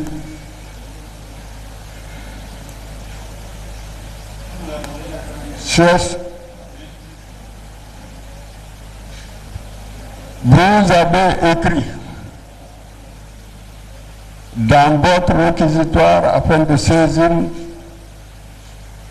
de la chambre d'accusation. Aucun renseignement n'est versé au dossier sur la personnalité des personnes poursuivies. Celui qui a écrit ça, c'est lui qui déclare devant vous que l'accusé divague. Alors, je lui demande gentiment de prendre le dictionnaire français pour savoir ce que divague signifie exactement. C'est aller du coq à l'âne. Monsieur le Président, normalement, dans une procédure criminelle, chacun des accusés renvoyés devant la chambre, devant la cour d'assises doit précisément faire l'objet d'un examen psychiatrique pour connaître la personnalité de celui qui va être jugé par la cour d'assises. C'est à cela que monsieur l'avocat général fait allusion en écrivant ce que je viens de vous lire. Ça, ça devrait être un problème de routine, Monsieur le Président, en dehors de toute polémique, quelle qu'elle soit. Monsieur le Président, renseignez-vous. Il est d'une autorité publique dans l'armée qu'il a eu des problèmes psychologiques. Ça, vous pouvez le faire maintenant. Je termine par là. Nous, nous n'avons jamais demandé une suspension. Pendant que l'expert fait son travail, la Cour d'assises peut continuer à travailler. Enfin, on ne peut pas dire quelqu'un, on lui a demandé s'il est normal, il a dit oui, je- euh, il est normal. J'allais dire à quelqu'un, il est normal, non, je suis fou. Ça, Monsieur le Président, c'est pas comme ça que ça se passe. Ce garçon a besoin d'un examen psychiatrique. Je vous remercie. Voilà, merci. Euh, Je vous remercie, Monsieur le Président. oui. Euh, ce que je voudrais ajouter, la défense n'a jamais demandé la suspension des travaux de la Cour. La défense a sollicité une mesure conservatoire et qui est conforme à la loi, Monsieur le Président. Si vous regardez les dispositions des articles 162 et suivants du Code de procédure pénale, vous vous rendrez compte que notre demande est régulière. Ensuite, Monsieur le Président, nous, nous n'avons jamais abordé dans le sens des causes de non-imputabilité. Nous savons que la démence peut intervenir avant l'infraction, pendant la commission de l'infraction et après la commission de l'infraction. Nous n'avons jamais parlé euh, du moment où l'infraction s'est commettée, Monsieur le Président. Aucun d'entre nous n'a abordé dans le sens de soulever une cause de non-imputabilité pour dire qu'il n'y a ni crime ni délit. Pour le moment, nous avons constaté que notre client est en train de délirer devant votre cour, Monsieur le Président. Hier, sur une de vos questions, il a soutenu que s'il est présent devant votre cour, c'est d'abord à cause de Dieu, et ensuite c'est à cause des prémices de la mort de sa jumelle. Et enfin, c'est parce que ça n'allait pas dans sa tête. Il l'a très bien dit ici, Monsieur le Président, vous pouvez revoir les images. Il a dit que ça n'allait pas dans sa tête, Monsieur le Président. Quand un accusé dit à la Cour que ça n'allait pas dans sa tête, la Cour doit prendre ça en considération. Et je pense bien que c'est à cause de cela que la Cour même a constaté qu'il n'était pas normal. Monsieur le Président, quelqu'un qui achète 4 boubous, 5 boubous, en raison de 4 millions de francs guinéens, et qui les jette dans une fosse sceptique, et qui prend sur son salaire la somme de 4 millions pour rembourser, est-ce que ce dernier est normal, Monsieur le Président? Ensuite, ce que vous ne savez pas, Monsieur le Président, il a dit qu'il peut tirer avec sa main, sans arme, lui. Il a dit qu'il peut tirer avec sa main, Monsieur le Président. Quelqu'un qui est normal peut, peut affirmer ça? Et sans oublier, Monsieur le Président, certainement le parquet ne vous a pas informé, ce monsieur s'est battu à la maison centrale avec Jean Guilavogui, pendant que la blessure de Jean Guilavogui n'était pas encore guérie. Il s'est battu contre lui là-bas. Et il s'est battu contre un agent euh, euh, de la garde pénitentiaire, Monsieur le Président. Le régisseur est là, il peut témoigner, Monsieur le Président. C'est un monsieur qui n'est pas normal.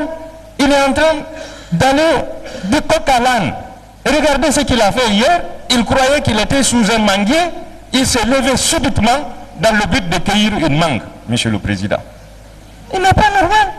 Donc, encore une fois, Monsieur le Président, nous, nous n'avons jamais abordé dans le sens d'une cause de non-imputabilité, mais nous avons observé que notre client ne se trouve pas dans un état mental normal.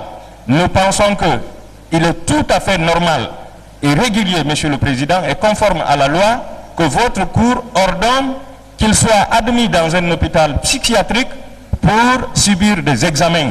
Seul le médecin psychiatrique, à travers son rapport, à travers ses conclusions, peut affirmer à la Cour qu'il est normal et qu'il peut tout à fait continuer, euh, euh, comment dirais-je, le procès, Monsieur le Président.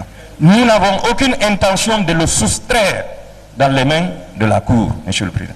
Aucune intention. Et ce n'est pas une première fois, Monsieur le Président. Je me souviens au temps de feu Elas Boubacar Soto, premier président de la Cour d'appel, lors, paix à son âme, lors d'une de ces sessions d'assises ici, à la, première, à la première audience, Monsieur le Président, le premier jour, le premier accusé qui est passé à la barre, il n'était pas dans un état normal.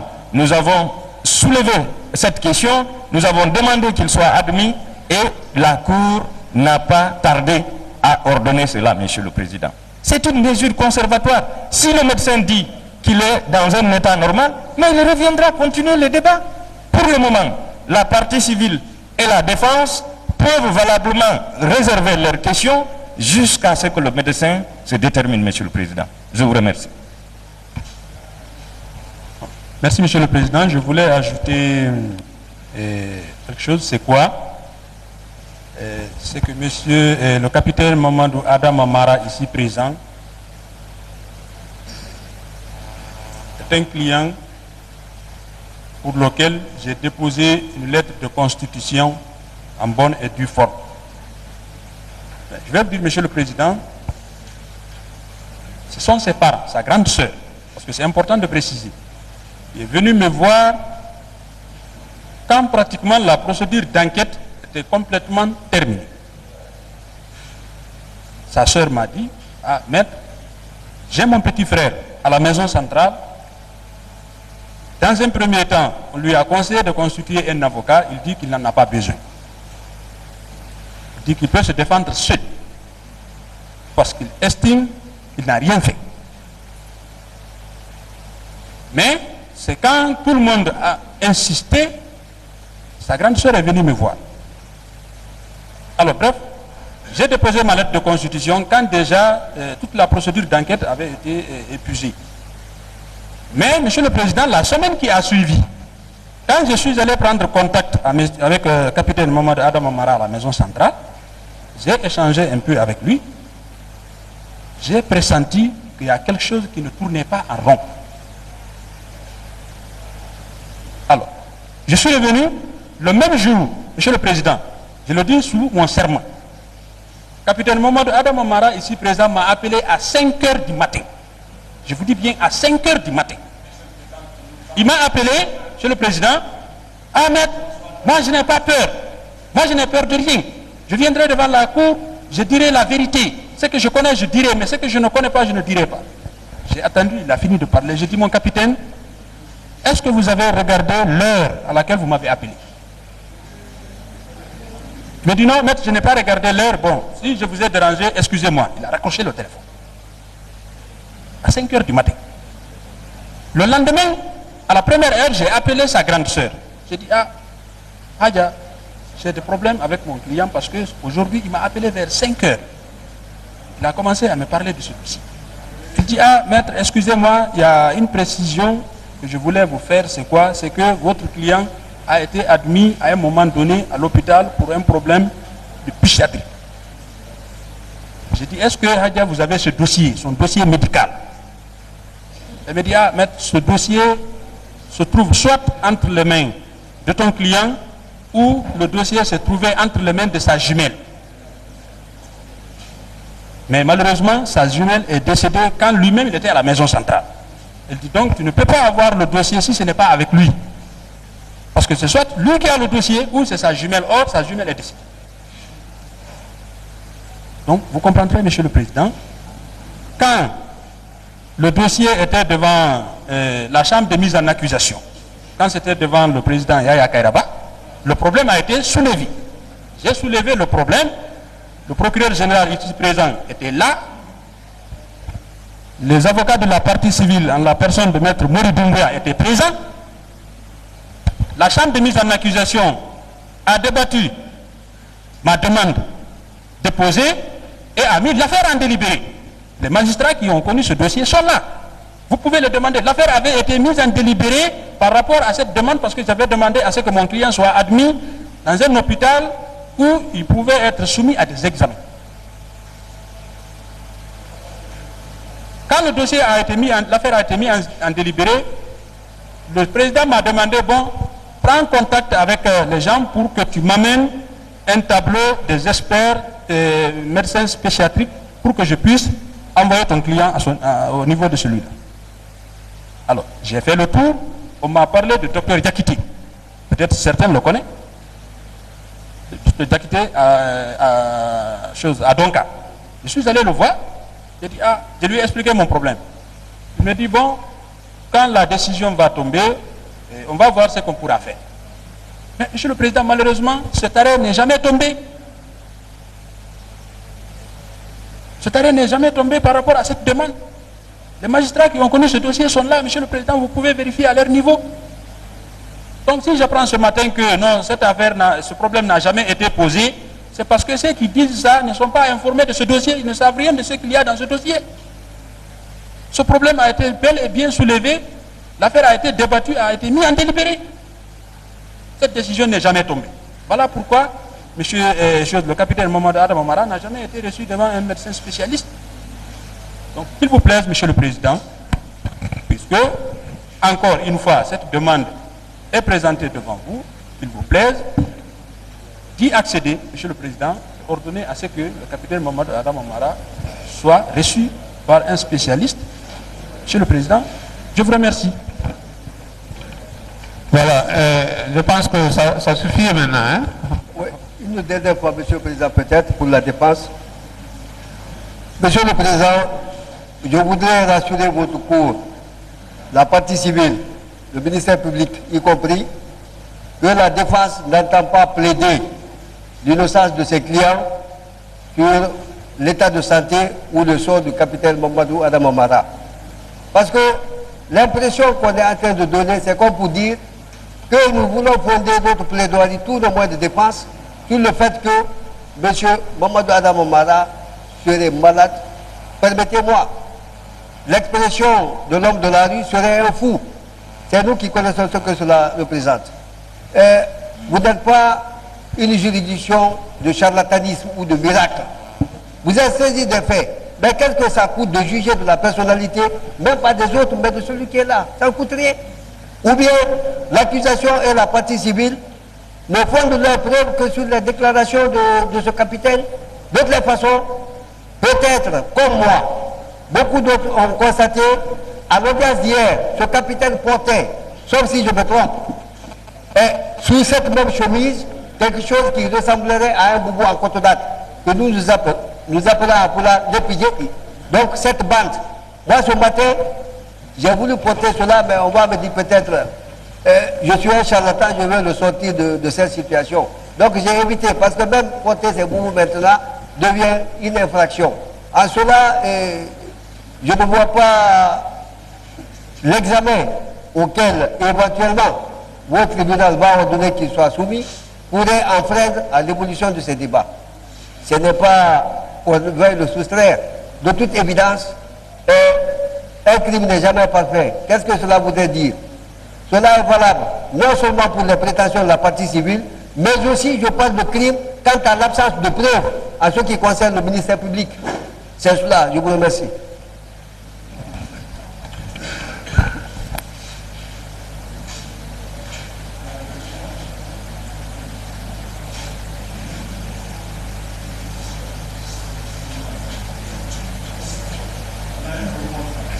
Et a plus d'autres observations par rapport à cette demande Monsieur le procureur? Les lettres questions. Plus rien. hein. Bon, ce que la Cour voudrait vous demander, cette question d'expertise sera répondue ultérieurement. Nous allons continuer les débats avec euh, l'accusé et d'ici la fin de son interrogatoire, nous verrons quelle sera la mesure à entreprendre. Voilà. Euh, Monsieur Marat, vous allez prêter attention au procureur qui va continuer à vous poser des questions et vous allez les répondre si vous avez des réponses à donner. Hein? C'est compris? Oui.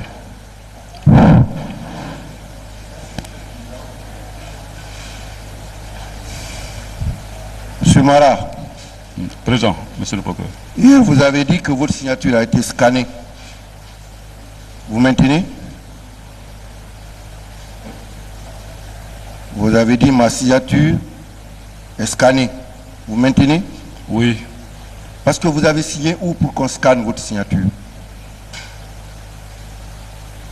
Vous dites Où vous avez signé pour qu'on scanne votre signature?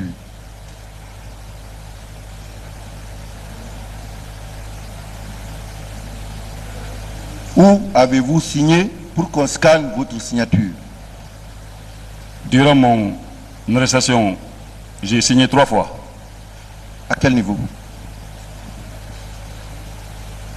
À l'enquête préliminaire, À l'enquête préliminaire, vous avez signé quand vous avez fini de déposer?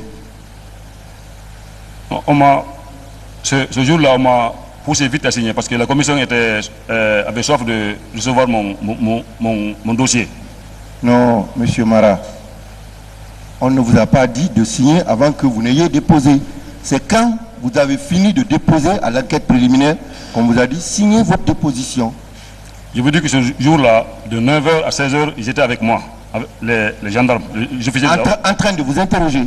Oui, oui, À la fin de l'interrogatoire, on vous a dit de signer votre déposition. oui.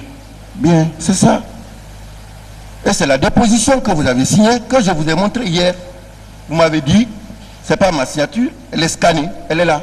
Est-ce que maintenant, comme elle est scannée, vous pouvez reprendre votre signature là, avec la permission de la Cour, votre propre signature? Vous pouvez la faire là. Papier vierge. Voilà, BIC. Signé trois fois pour la Cour, pour tout le monde.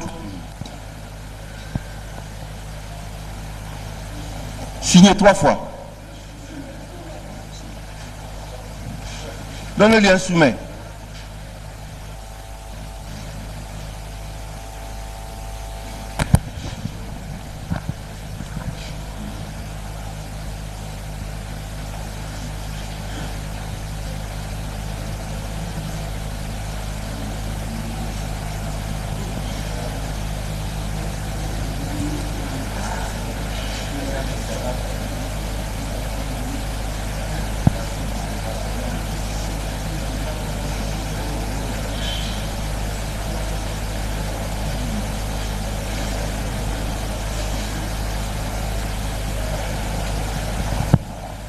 Vous plaît, Monsieur Mara. Je sais qu'il n'a pas fini, Monsieur le Président. Voilà ce que... Monsieur, Monsieur Mara, retournez le papier, signez trois fois gros, de, de, de haut en bas. Retournez le papier, signez-moi trois fois gros. Voilà.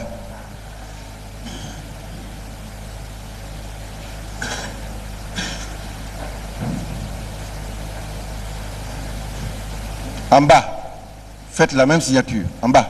Un peu plus loin, en bas. Voilà, faites la même signature.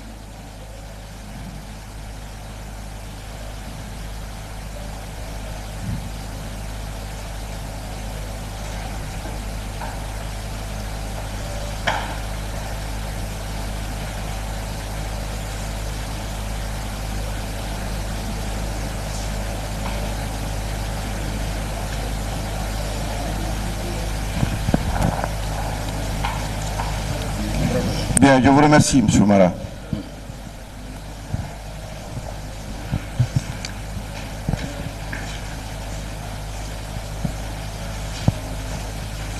Monsieur le Président, c'est la même signature qui est là. Même s'il a fait l'effort de ne pas exactement faire la même chose, de toutes les façons, là-dessus, il n'y a pas de discussion parce qu'il a dit que sa signature a été scannée, donc c'était effectivement sa signature. Monsieur Mara, Président, monsieur le procureur. À quelle date le féticheur a livré les boubous Vous a livré les boubous, vous. C'est le 5, 5 août De quelle année? 2000 2011. Monsieur Mara, Oui. à quelle date vous êtes parti pour votre traitement au Maroc?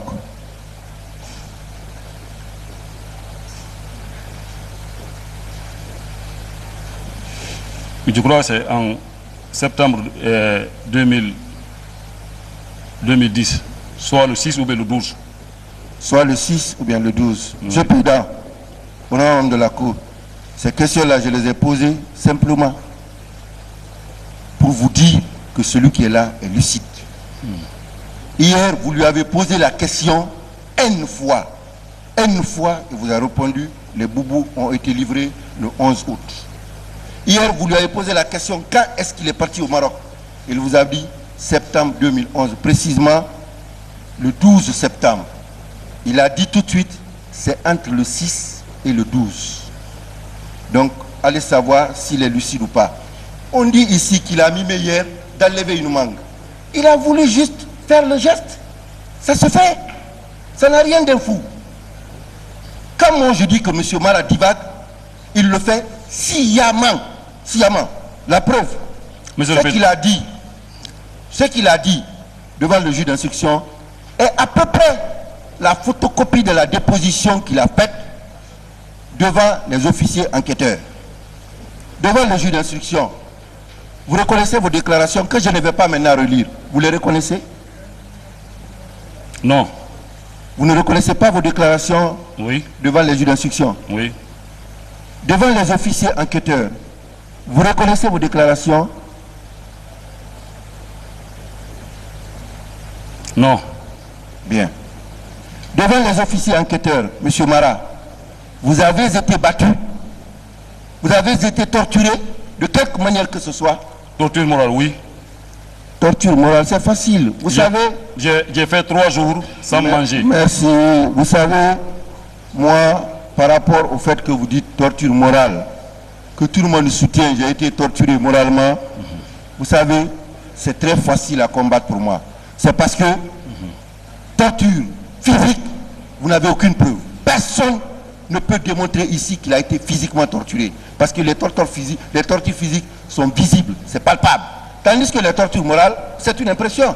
Trois jours. On m'a pris. on Monsieur m'a- Mara, je ne discute pas. on on m'a pris le 11. Monsieur le Président, on m'a pris le 11. Un vendredi. Je suis parti à Matam.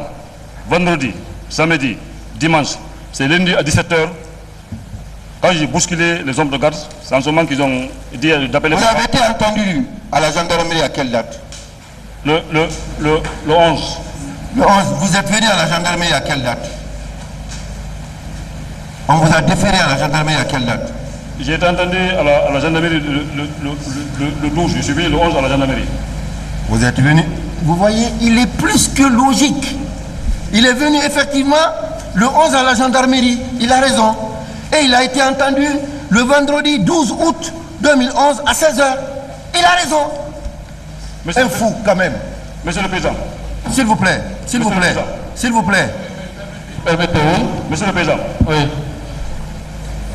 je suis un homme comme tout le monde. Hier, vous m'avez demandé, j'ai dit que c'est Dieu qui est là. Ensuite, j'étais sous la pression de la mort de ma jumelle. Je me défendrai. L'eau est versée. Mais à chaque fois qu'elle sait qu'elle vient sur moi, je me bats avec les gens. Je l'ai fait avec ma famille. J'étais isolé là-bas avec ma famille.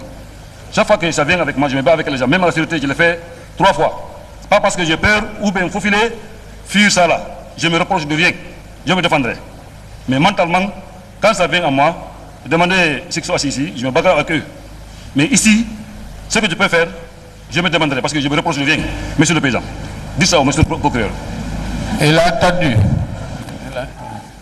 D'instruction, devant trois juges d'instruction. Pourquoi avez-vous répété la même chose?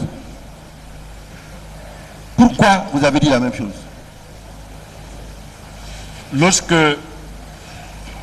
lorsque j'étais à la sécurité, lorsque j'étais à la j'étais à l'aise avec le juge d'instruction. C'est quand je suis venu à la sécurité qu'on m'a annoncé la mort de ma jumelle. C'est ce jour-là qu'on m'a libéré, que mon esprit a été libéré. Et lorsque mon esprit s'est libéré, ce jour-là, j'ai écrit deux lettres. Une lettre au général Bunduka, une lettre à colonel Ousmane Ossé. C'est là où je me suis retrouvé. Je les ai dit, il n'y a pas de pardon, il n'y a pas de jeu de cache-cache dans l'affaire du coup d'État. J'étais prêt à me défendre. Et je suis, ils étaient dans le quartier. Donc si c'est vrai que je suis dans un coup d'État, il ne faut pas qu'ils me pardonnent. Mais s'il y a un coup d'État, qu'il m'explique comment le coup d'État s'est effectué, tandis que l'armée guinéenne que je connais Sahel et Libéria n'a jamais eu peur de, de l'ennemi. Vous êtes allé, vous êtes allé quelque part où moi je ne vous ai pas demandé Non, d'aller. c'est c'est pour vous dire, quand je me suis retrouvé à la sécurité, Non, attendez. quand je me suis retrouvé à la sécurité, monsieur le président, j'ai écrit deux lettres à Général Bonduka et colonel Assé. Écoutez, écoutez, écoutez. Deux lettres. Écoutez. Monsieur Mara, allons doucement, doucement. Ne vous énervez pas. Non, Voilà, ne vous énervez pas. Et écoutez sa question. Si vous avez une réponse, vous répondez. d'accord, Hein, c'est compris d'accord. Pourquoi, M. Mara, Oui. vous avez dit la même chose à la gendarmerie et devant le pool de juge d'instruction? Parce que ce que vous avez dit à la gendarmerie, votre procès verbal de la gendarmerie, cadre à quelques différences près avec ce que vous avez dit devant le pool de juge d'instruction. Procès verbal du pool de juge d'instruction. Pourquoi c'est la même chose? S'ils n'ont pas augmenté, ils n'ont pas modifié, ce que j'ai dit à la gendarmerie et aux juges d'instruction ne peut pas me nuire, ne peut pas me faire autre chose. Parce qu'ils n'ont besoin que de la vérité. Si maintenant ils ont besoin d'embellir, parce qu'ils sont en, en- en manque, faire autre chose, ça je ne serais pas d'accord. Mais ce que je parle n'est pas mauvais. Ça n'engage que moi. Euh, vous pensez que les juges d'instruction ont augmenté quelque chose ou bien qu'ils ont mis des choses pour vous charger Ah, lecture, je, je- je saurais l'approuver. Quand je ferai lecture, vous saurez. L'approuver. D'accord. Donc, Monsieur le Président, permettez-moi. Vous avez dit devant les juges d'instruction ceci. On ne discute pas. hein. Si c'est vous qui avez dit, vous dites oui. Si c'est pas vous, vous dites non. D'accord? Oui. Le dimanche 17 juillet 2011, le lieutenant Amadou Diallo m'a appelé au téléphone aux environs de 10 heures pour me dire de chercher beaucoup de sacs de riz parce qu'il allait faire un mouvement militaire, c'est-à-dire attaquer le domicile du président de la République. Non et non, non et non. C'est le ridicule ne tue pas. Je, l'ai- je l'ai pas dit. Attendez, je continue. Non et non. Ne vous énervez pas. Non et non, monsieur le président. Ne vous énervez Non et non. pas. Non et non. Oui, oui, vous n'avez pas dit, ça suffit. Voilà, vous dites que c'est pas vous qui l'avez dit, ça, ça suffit. Bien, vous continuez en disant, j'ai répondu que Amadou, tu as oublié que j'avais rêvé de toi et que tout ton corps était couvert de fourmis Et si tu t'hasardes à effectuer cette opération, tu ne t'en sortiras pas et tous tes proches en pâtiront. Il m'a répondu à son tour en poulard en ces termes. Bon, je ne peux pas dire l'expression peul, mais ce qu'il a dit voulait dire ceci. Je le ferai quelles que soient les conséquences. C'est vous qui avez dit ça Non et non. Merci. Vous continuez. Ça, c'est devant le pool de juge d'instruction. Hein? Vous continuez. Le lendemain, le lieutenant Mamadou Bobo Diallo m'a appelé au téléphone aux environs de 22 heures. Le président a beaucoup insisté hier sur votre entretien avec Amadou. Vous lui avez dit que c'était le matin. Mais c'est là, le soir, vous vous êtes entretenu avec le lieutenant Mamadou Bobo Diallo. C'est vous qui le dites. Il vous a appelé au téléphone pour vous dire qu'ils sont prêts pour attaquer le domicile du chef de l'État et que le véhicule est garé à cause le long des rails. Vous vous souviendrez, honorable membre de la Cour, que cela a été dit déjà ici plusieurs fois. Est-ce que c'est vous qui avez dit ça? Non. Bien. Également, je lui ai déconseillé de telles pratiques avant de le dire. Si de telles pratiques, si de telles opérations échouent, et toi et toute ta famille en périront. C'est vous qui avez dit ça? Non. Bien. Je note un détail ici. Est-ce que vous pouvez me dire, vous connaissez le lieutenant Mamadou Bobo? Le lieutenant Mamadou Bobo était du génie, qu'il soit mort ou fuite. Le lieutenant Mamadou Bobo était du génie, c'est un élément du génie, génie route. Vous le connaissez? Oui. Est-ce que avant aujourd'hui, avant votre arrestation, vous saviez, même si vous ne le fréquentiez pas comme vous l'avez dit, où il habitait? Le lieutenant Mamadou Bobo, je le dis ici, devant tout le monde. En 2000, Lieutenant Mamadou habite où? Vous connaissez son domicile? Je ne connais pas son domicile, mais il habite à Simambossia. À Simambossia. Je dis ça, je n'ai pas voulu lire pour ne pas que vous me répondiez encore, ce n'est pas moi qui ai dit. Vous- dans vos explications, vous dites, je précise que Bobo, bien que régulièrement domicilié au quartier Simambossia, a dû quitter les lieux car finalement identifiable et est actuellement retranché dans le quartier Dar es Salaam. C'est vous qui avez dit ça? Bien.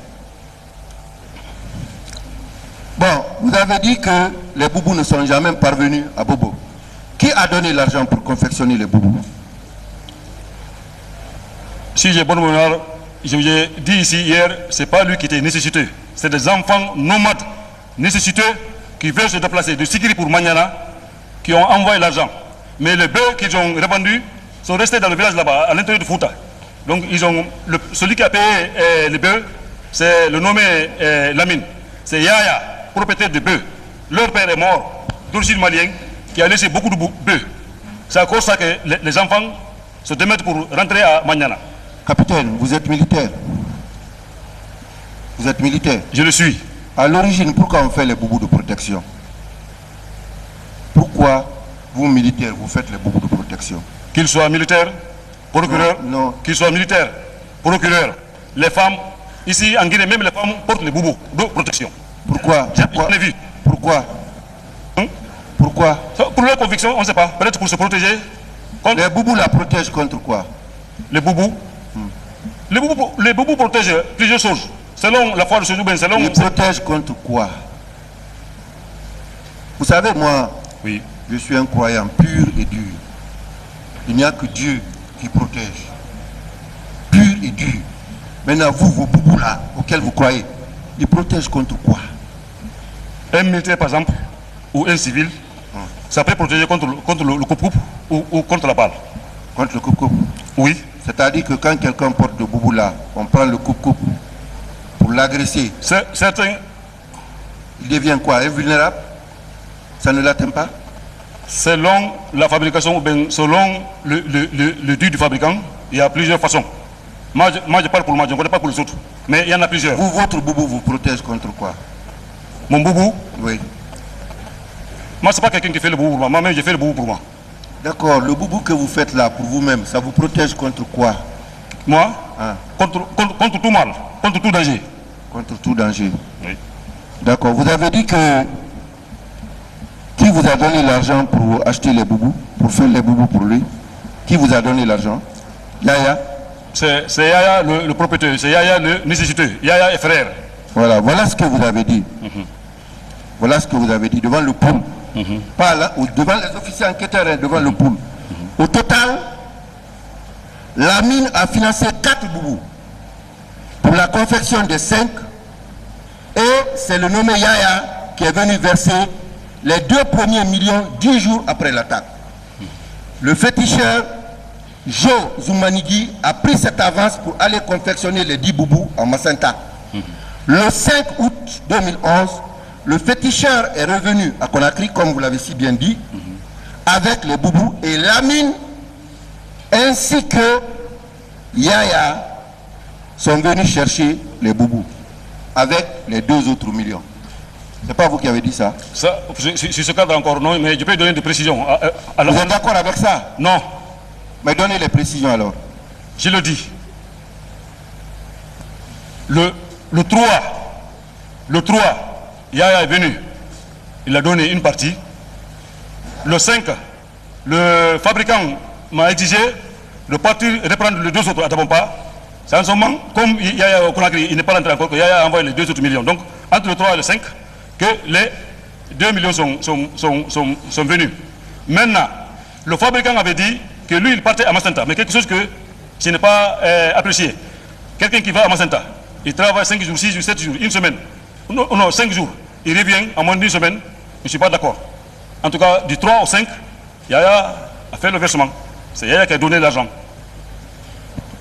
Mais pourquoi vous, vous avez dit devant le pôle de juge d'instruction qu'au total, la mine Gallo a financé 4 millions pour la confection des 5 Non, c'est pas, c'est pas Yaya Diallo qui a, qui a financé. Lui, il, il a dit sa, sa, manière. C'est pas Yaya Diallo qui a financé, c'est Yaya qui a payé. C'est pas Lamine Diallo. Lamine Diallo paye le bœuf avec l'enfant. L'enfant est en train de basader les bœufs. Mais c'est écrit ici, dans le procès verbal. Ah non, je suis pas d'accord. Vous n'êtes pas d'accord Je suis pas d'accord. Vous avez signé? Pourtant, vous n'êtes pas d'accord Je ne suis pas d'accord. Vous avez signé? Je ne suis pas d'accord. Vous avez signé, je dis. Je ne suis pas d'accord, monsieur le procureur.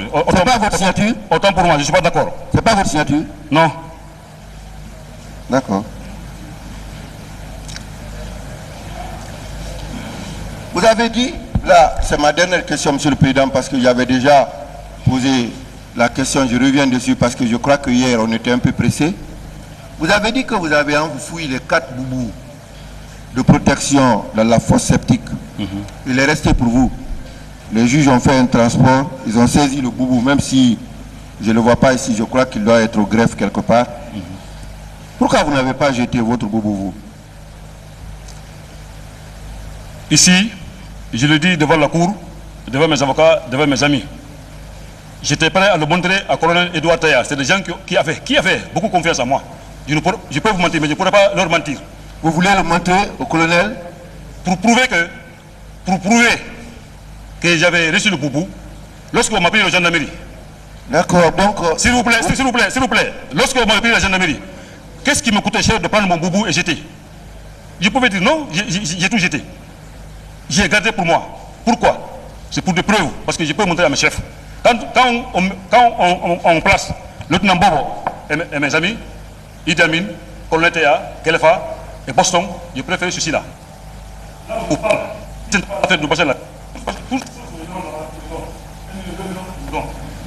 même le Toi, quand le le bâtiment là c'est pour toi, dit non, c'est pas pour moi. Qu'est-ce qu'on peut me parler? Il a baissé la tête, monsieur le procureur. Monsieur, monsieur, Le frère a baissé la tête. Le bâtiment là c'est pour vous, c'est- monsieur, non? monsieur Mamadou Adama, Présent, monsieur le procureur. calmez-vous. D'accord, Ne m'invectivez pas. d'accord. Moi, je ne fais que vous poser des questions pour que la Cour puisse avoir jusqu'où vous êtes mêlé dans cette Le est là, a demandé, est-ce que le service. Bon, écoutez les questions. Écoutez, il y, a, il y a une précision. Donnez-moi 30 secondes. écoutez, J'ai compris, il y a une précision. écoutez. S'il vous plaît. Non, C'est très important. écoutez, C'est très important. écoutez. Vous aurez la parole tout à l'heure. D'accord. Écoutez. Monsieur Mara, Monsieur Mara, Président, autant pour moi. ne vous énervez pas. Mara Je, je bégaye maintenant, je, je parle rapidement. C'est ce qui s'est transformé à la rapidité de de ma Pourquoi parole. Je Voilà. Monsieur Mara. Écoutez la question. monsieur Mara, pourquoi Oui. vous avez gardé votre boubou pour le montrer au colonel Théa, hein, vous avez dit? Oui. Vous dites que vous vouliez le convaincre. Vous vouliez le convaincre de quoi? Je n'ai pas dit que je voulais le convaincre. C'était pourquoi alors? Je dis, si on me demandait, je, ne peux pas mentir à mes amis. La classe 90, aujourd'hui, c'est eux qui commandent. Un. De deux, Yaya et frère ne, ne le méritaient pas. À partir du moment où il y a, y une, y a une situation pareille, je donne à un enfant qui va à Sigiri, vivre à Magnana, est-ce qu'il va partir là-bas, ou pas? J'allais me reprocher de quelque chose. J'ai pris tout, j'ai mis là-dedans. L'argent qu'on m'a donné pour le Maroc, à cause de mon pied là, j'ai dit, au- petit, comme il est orphelin, père et de mère, il dit ce que tu vas faire, quitter Sigiri, partir jusqu'à Sardou, déplace un camion, tu cherches un papier de l'élevage, un papier de la douane.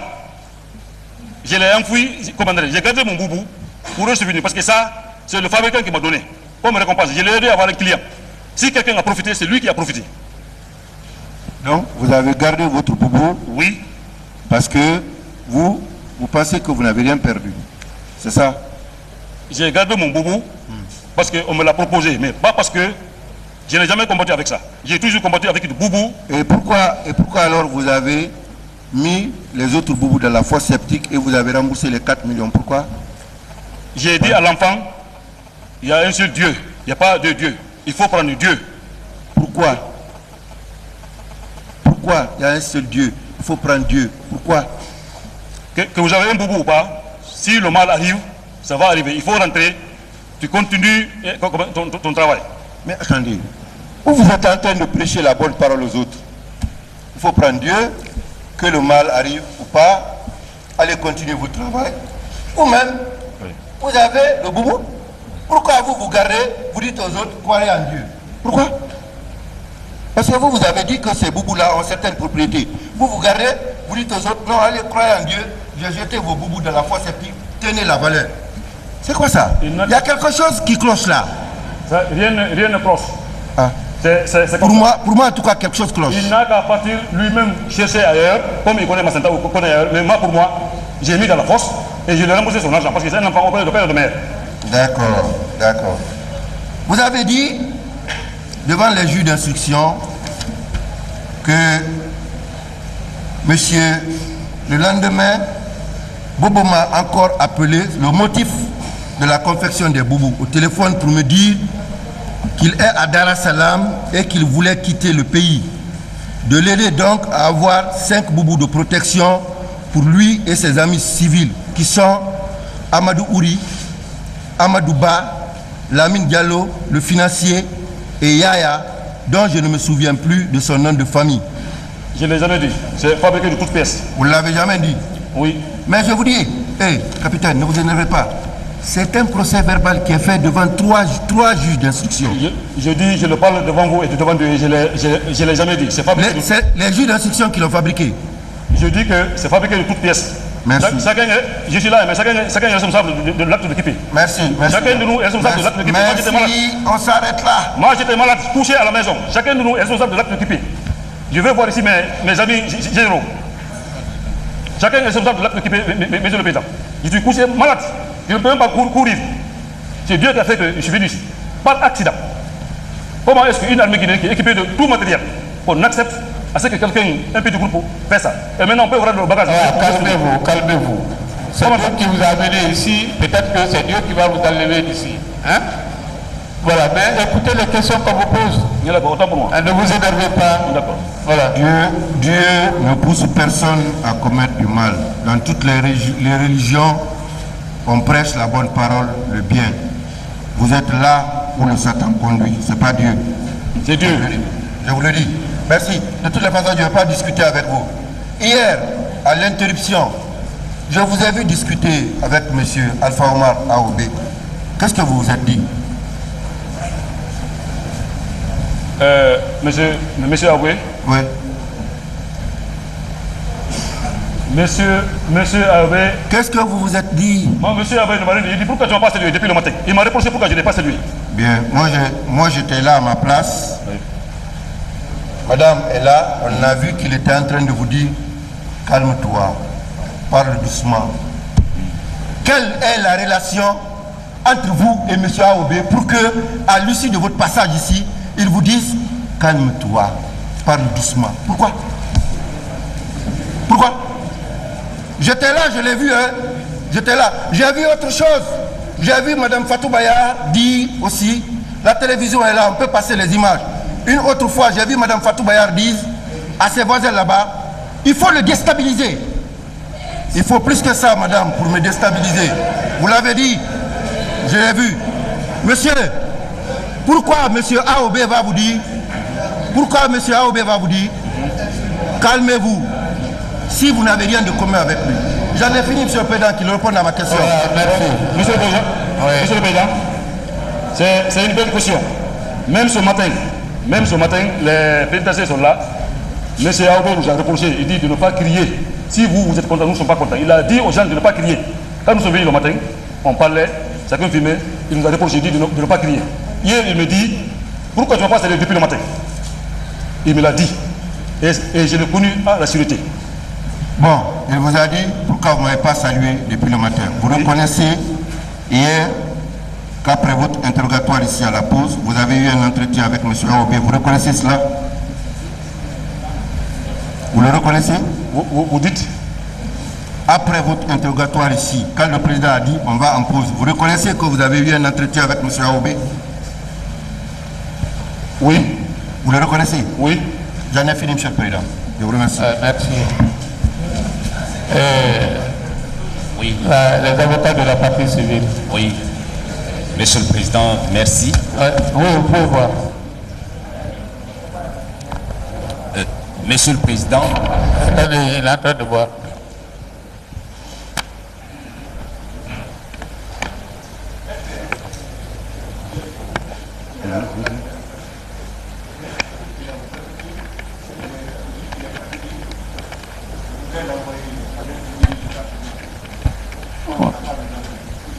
Oui, il peut aller. J'ai déjà dit qu'on peut l'amener à l'hôpital. On peut l'amener, on peut l'amener à l'hôpital. Ah. Oui.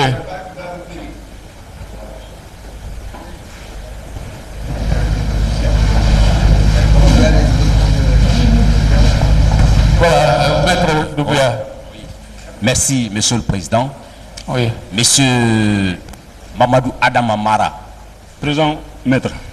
est-ce que vous confirmez que vous avez appelé Mesdames et messieurs, c'était là donc l'essentiel de cette émission J de Justice, Information, Droit, à porter sur la comparution du lieutenant Mohamed Komara alias Rambo, cet accusé qui devait partir en Chine mais qui s'est retrouvé à la maison centrale de Conakry. Aujourd'hui, il poursuit ses pérégrinations judiciaires à la cour d'assises de Conakry. Je pense que son témoignage vous a particulièrement édifié. Mesdames et messieurs, Gide vous a été proposé par Abdoulaye Djibril Diallo. Merci de l'avoir pratiqué.